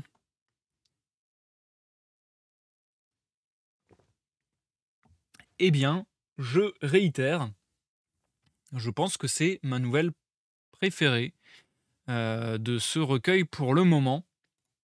Je trouve qu'elle est très fluide, euh, assez pleine d'action. Euh, les, événements se suivent bien. Il y a, plusieurs décors, il y a plusieurs personnages. C'est très vivant en fait. Donc je trouve ça beaucoup plus agréable et je trouve que ça se rapproche pour le coup énormément de la formule euh, qui, euh, comme je le répète sans arrêt, a sans doute inspiré énormément des tonnes de séries télévisées euh, sur la structure, sur le personnage de, sur le, sur la, sur la caractérisation du personnage et la personnalité de personnage un peu géniale comme ça. Et, et j'aime beaucoup. Je trouve que c'est très fluide et je comprends complètement pourquoi ça a, été réutilisé pour la télé et ainsi de suite parce que je trouve que c'est ça fait encore très moderne, alors que c'est des textes qui datent, je crois, celui de ce soir, je crois que c'était en décembre 1908. Donc ça commence quand même à, remonter. Et euh, malgré tout, je trouve que oui, c'était encore très moderne, quoi. Le petit bémol pour moi, et là je suis un peu déçu. En même temps, est-ce qu'on peut ne pas s'en douter? Le monsieur a écrit trois romans, non quatre romans, pardon, quatre romans ou trois romans, je sais plus. J'ai oublié. Euh, ainsi que 56 nouvelles sur le personnage. Et il a aussi écrit d'ailleurs euh, des histoires sur d'autres personnages. Donc je pense qu'il y a quelques redites. Et j'avoue que là, coup sur coup, d'avoir lu les plans du Bruce Partington et la semaine passée, l'aventure du Cercle Rouge, je crois que c'était dans l'aventure du Cercle Rouge, et eh bien du coup, ça met en évidence les redites. Et je, trouve ça un peu décevant du coup, parce que euh, quasiment le quasiment le le rebondissement final, bon pas tout à fait final, mais le rebondissement qui permet la résolution de l'enquête en, un, sens est quasiment le même dans les deux, c'est-à-dire des gens qui se faisaient passer des messages euh, dans les euh, dans le Daily Telegraph, donc dans le journal. Donc un peu déçu que ce soit exactement la même méthode sur les deux nouvelles. Euh, ça va même encore plus loin que ça, puisque dans les deux nouvelles, il comprend ce qui est en train de se passer. Donc euh, dans l'aventure du cercle rouge, c'était euh, le code avec les lampes. Donc du coup, il utilise le code pour faire venir la personne, croire que, faire croire à, l'autre personne qu'elle est en sécurité et bah voilà, faire venir le coupable en quelque sorte, en quelque sorte. Euh, et là, exactement la même chose. Exactement la même chose. Pour faire venir le coupable, ah bah ça y est, j'ai compris comment il communiquait. Je vais moi-même m'envoyer un truc dans le journal et, euh, on va l'attraper comme ça. Donc euh, je trouve ça intelligent, je trouve ça smart, je trouve ça intéressant. Mais c'est vrai que là, coup sur coup, deux nouvelles qui utilisent vraiment exactement le même ressort. Un peu dommage, mais bon. sinon, j'ai vraiment bien apprécié cette nouvelle, globalement. Euh, est-ce que j'ai d'autres choses à dire sur cette nouvelle? Certainement, parce que euh, pendant que je suis en train de lire, j'arrête pas de me faire des réflexions et j'arrête pas de me dire ah tiens là il y a ça, tiens là il y a ça. Vraiment, je vous dis, c'est comme ça que mon cerveau fonctionne euh, en live de lecture. Pendant que je lis, il y a mon cerveau qui lit. En fait c'est bizarre. Il y a mon cerveau qui lit dans ma tête avec une microseconde d'avance sur mon, cerveau qui lit à voix haute. Et en même temps, j'ai mon cerveau qui réfléchit, qui analyse en fait un peu le texte et qui réfléchit à euh, ce dont je vais parler euh, lors des pauses et lors des fins de live. J'ai l'impression que c'est un peu comme ça que ça s'organise. Et parfois, ça arrive pas souvent, mais quand ça arrive, c'est très chiant. Parfois, j'ai ce fameux truc que tout le monde a déjà vécu, je pense, de euh, je lis un paragraphe et j'arrive à la fin d'un paragraphe et je me dis merde, là mon cerveau était ailleurs, j'ai pas tout, j'ai pas tout suivi. Ça m'arrive vraiment très rarement en live parce que je pense qu'en live je suis très concentré sur ma lecture. Mais euh, quand ça m'arrive, mama mama mama, misère de misère. À chaque fois je me dis mince comment je fais? Comment je fais? Parce que du coup il faut que ça se ressente pas dans ma manière de lire que je suis paumé sinon euh, la lecture va être beaucoup moins euh, compréhensible et agréable quoi. Bref. Euh, on voulait quand même faire quelques mots de la fin, j'en fais assez peu parce qu'on est déjà à 1h45 de live, donc j'ai pas envie de faire durer trop longtemps non plus l'ardif. mais les mots de la fin, brièvement, on va aller voir. Alors, je vais pas aller voir l'étymologie et le sens du mot métro parce que euh, bon, voilà. Euh, c'est pas non plus giga intéressant, je pense. Par contre, en effet, on va essayer d'aller voir le métro de Londres, quelques infos dessus, puisque euh, ça a étonné Chamast dans le chat que le métro existe déjà. Le métro de Londres et le réseau métropolitain qui dessert le Grand Londres et les comtés voisins de l'Essex, du Hertfordshire et du Buckinghamshire. Il est communément appelé l'Underground qui signifie souterrain ou The Tube, le tube, en référence à la forme cylindrique des tunnels de ces lignes profondes. Le premier projet d'un métro à Londres remonte à 1827. What? 1827 Et du coup, comme je disais, là, la nouvelle que je viens de vous lire, je crois qu'elle a été écrite en 1908. Autant 1908, ça m'étonnait pas qu'il y ait des métros. Autant 1827, le premier projet, je suis un peu sur le cul, j'avoue. Mais apparemment, c'est le premier projet, mais c'est pas le premier métro. Le premier, ouais, voilà. de ce que je comprends, hein, c'est pas le premier, enfin c'est le premier projet, mais pas le, mais ça ne reste qu'un projet ou ce n'est qu'un projet. Le vrai premier métro, la vraie première ligne, est inauguré le 10 janvier 1863. Donc quand même euh, quasiment 40 ans plus tard. Ce qui en fait le plus vieux réseau métropolitain au monde, son tracé constituant désormais dans sa majeure partie la Hammersmith et City Line. Ok. Euh... Mmh, mmh. Je suis en train de lire un peu en diagonale, voir s'il y a des infos qui peuvent nous intéresser davantage. Je pense que non. Pas spécialement. Mais en tout cas, c'est une dinguerie. Euh, alors, j'ai une catégorie histoire du coup sur Wikipédia. On va peut-être pouvoir en apprendre davantage. Euh, donc, euh, est-ce que c'est à vapeur? Je vais, je vais essayer de te répondre. Donc, la première partie du réseau existant a été construite. Ah non. La première partie du réseau existant à être construite est la Metropolitan Railway qui circule à l'origine entre Bishop's Road, aujourd'hui la station de Paddington, et Farringdon Street, station appelée de nos jours Farringdon. Trop drôle que ce soit encore des stations utilisées aujourd'hui, quoi. Premier métro urbain au monde, il est construit avec une voie à double gabarit capable d'accueillir des trains à l'écartement de Brunel large de 2, 2 mètres 14. Des trains à l'écartement de Brunel? Large? Non, large de 2 mètres 14, donc ça c'est autre chose. Mais des trains à l'écartement de Brunel, je sais pas si ça désigne une catégorie spécifique de train, mais je saurais pas là pour le coup. Ainsi, ouais, si ça doit être le cas, ainsi que les autres trains à écartement standard.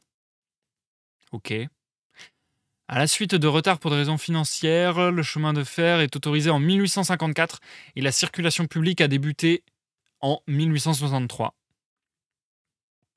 30 000 passagers sont transportés dans la journée avec des trains partant toutes les 10 minutes. Waouh Ah ouais. Euh... Euh, les premiers trains. Les premiers trains sont tractés par des locomotives à, vapeur, ce qui exige une aération efficace depuis la surface. Des gaines de ventilation aménagées en divers points de l'itinéraire permettent alors aux locomotives à vapeur d'expulser les fumées et d'amener de l'air frais dans les tunnels. Trop marrant. À la suite des progrès dans l'utilisation de boucliers pour la construction de tunnels, de la traction électrique et de la maîtrise de la construction de tunnels profonds, les lignes suivantes sont construites plus profondément en sous-sol. Euh, cela permet de causer beaucoup moins de perturbations au niveau du sol que par la méthode des tranchées couvertes.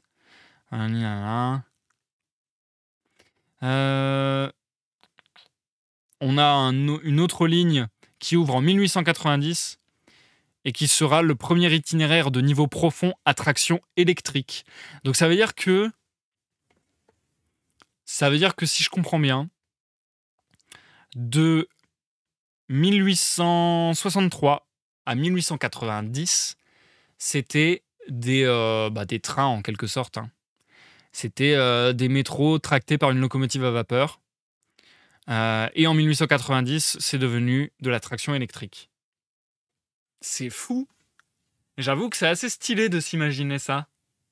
J'aurais pas cru que c'était si vieux pour le coup quand même. C'est assez euh, waouh. C'est assez stylé. C'est assez stylé. Ça devait être vachement enfumé les tunnels. Bah ouais, j'imagine, ouais. Un délire. Non, franchement, c'est cool. Ah, c'est cool. Je suis content d'avoir ajouté cet appendice euh, des mots de la fin pas sur mes lives de lecture. Parce que euh, je me dis qu'on découvre plein de choses intéressantes que ce soit sur les mots ou sur des, euh, ou sur des concepts ou sur des euh, événements historiques, sur des choses particulières. On avait parlé des sous-marins tout à l'heure aussi euh, en même temps. On avait parlé du premier sous-marin. Enfin, en tout cas, de la même manière, on se demandait s'il y avait déjà des sous-marins à l'époque. Bon, il y avait déjà des sous-marins à l'époque, vu vu qu'on en parle dans la nouvelle, mais. Alors, développement. Ouais. Alors déjà, je vois que dès 1624, il y a des embarcations semi-submersibles. Euh...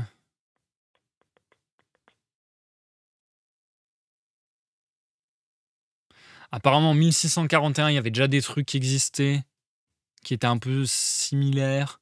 En 1690, deux prototypes semi-submersibles et un deuxième modèle qui apporte plusieurs ouais, améliorations. Ok. Bon, en tout cas, ça date de très longtemps qu'on tente de faire des sous-marins, clairement. 1775, euh, donc un petit bond quand même dans le temps. Prototype. Euh, est-ce que est-ce que c'est encore plus ouais J'ai l'impression qu'en fait euh, pendant des centaines d'années on a fait des prototypes et peut-être que le premier vrai prototype, euh, enfin le vrai premier sous-marin a mis énormément de temps à, voir le jour finalement. Parce que là, 1797, le Nautilus par l'ingénieur américain Robert Fulton.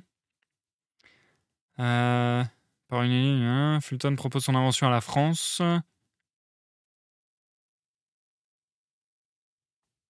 Ouais, je vois beaucoup de projets abandonnés d'essais, de tentatives, de prototypes, d'expériences. Euh, non, c'était pas Nemo, non. Euh, après, il y a les cloches de plongée, ça vous devez connaître. Des espèces d'énormes cloches dans lesquelles euh, on descend comme ça.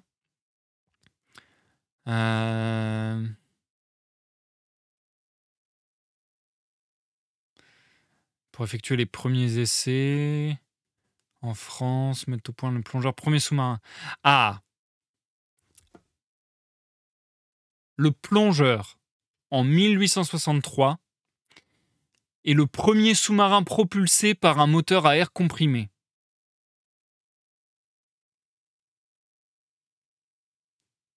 Donc, on peut dire déjà que en 1863, c'est certain qu'il y avait un truc qui n'était pas de l'ordre du prototype, de la tentative, du développement, mais qui était euh, réellement un sous-marin propulsé euh, à moteur, euh, par moteur à air comprimé et que ça existait quoi. Donc, bah, encore une fois, 40 ans.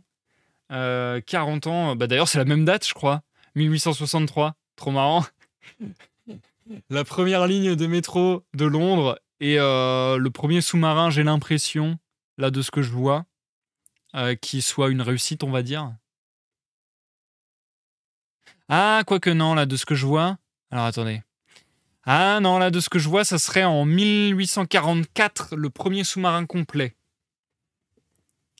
Enfin voilà. En tout cas, euh, c'est dans cette euh, tranche de période-là, dans ces tranches d'années. Trop intéressant. Comme quoi, ça existait donc bien en 1900. Euh, à quoi il pouvait ressembler en 1900 Je ne sais pas trop. Euh, par exemple, en 1900, il y a le premier sous-marin équipé d'une propulsion mixte, machine à vapeur en surface, moteur électrique en plongée. Donc, euh, on peut imaginer ce genre de ce genre d'appareil à l'époque de l'histoire décrite dans la nouvelle du jour. Voilà, voilà. Donc ça nous fait deux mots de la fin en quelque sorte. Je voudrais finir avec un dernier mot de la fin qui est encore une référence. Finalement, on n'aura pas fait d'étymologie euh, euh, ou de définition ce soir, mais j'aime bien aussi aller voir des références un peu culturelles et, des noms propres, des choses comme ça. Là, il y a un truc que... Alors déjà, il y a un mot que je ne connais pas, qui est le motet, M-O-T-E-T. M-O-T-E-T. Un motet est une composition musicale à une ou plusieurs voix, religieuses ou profanes, avec ou sans accompagnement. Ok. Ok. Je ne connaissais pas. Euh, est-ce qu'il n'y a pas moyen d'avoir une meilleure définition quand même? Au XIIIe et XIVe siècle, composition harmonique vocale religieuse ou non, à deux, trois ou quatre voix, ayant généralement pour ténor un fragment de plein chant, les autres voix librement ornées étant composées soit sur des textes liturgiques, soit sur des poèmes profanes en langue vulgaire, ou pièces musicales et religieuses polyphoniques composées sur des paroles latines ne faisant pas partie de l'office. Euh, ok. Le motet, qui suit l'évolution de la cantate et ne s'en distingue guère de, désormais depuis le milieu du XVIIe siècle, prend souvent au XIXe siècle la forme d'une vaste fresque religieuse où une importante masse chorale est accompagnée par l'orchestre ou par l'orgue. Mais il existe aussi des motets à une ou deux voix, de sorte que toutes les compositions religieuses qui ne sont ni des messes ni des oratorios pourraient rentrer dans cette catégorie indéfinie. Très bien. Et du coup, l'étymologie, oh c'est mignon. Euh, l'étymologie, ça serait euh, a priori petit mot.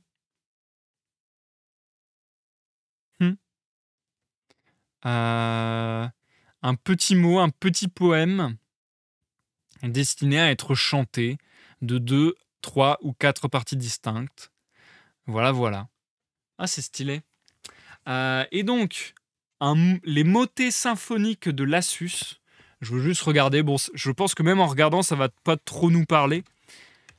Mais je suis juste curieux de savoir ce à quoi passe son temps euh, Sherlock Holmes, puisque euh, apparemment euh, Watson nous dit que dès qu'il a résolu une affaire, il est capable de passer complètement sur autre chose et de se plonger, de se plonger complètement dans des, euh, dans des passions euh, qui lui sont bien propres, n'est-ce pas? Euh, Comme on nous le disait d'ailleurs au début de la nouvelle, il avait aussi une autre passion au début de la nouvelle, c'était quoi? Qu'est-ce qu'il faisait déjà? La musique au Moyen Âge. La musique au Moyen Âge. Donc ça a peut-être même du lien d'ailleurs. Roland de Lassus. Ah, ça doit avoir du lien, je pense. Hein. Est-ce que je peux pas trouver? Hmm. Quand je cherche ça, je tombe sur Roland de Lassus ou Orlande de Lassus. Dix grands motets a cappella. Hmm. Ça doit être Roland, a priori. Roland de Lassus ou Orlande de Lassus, Orlando di Lasso, ou encore Roland de Latre. Un, un flanco, voilà, un, franc, un flanco, un flanco-flamande, bref, un franco-flamande. Non, j'ai dit de la merde. Attendez. Il est né aux Pays-Bas, voilà. Il est né aux Pays-Bas, euh, compositeur de l'école franco-flamande vers la fin de la Renaissance. Ok, donc euh, ouais, 1534, 1532, 1594, pardon. Euh, compositeur, maître de chapelle. Très bien. Genre artistique, les motets, les polyphonies, la musique de la Renaissance. Très bien. Bon, bah ça nous donne une vague idée. Je ne vais pas vous faire écouter de la musique ici. Et je vais pas vous faire la lecture de sa page Wikipédia qui est vraiment longue en plus. Trop marrant que sur un truc de niche comme ça, il y ait autant d'infos. Après, c'est vrai que je m'y connais pas du tout dans les musiques euh, de ce style.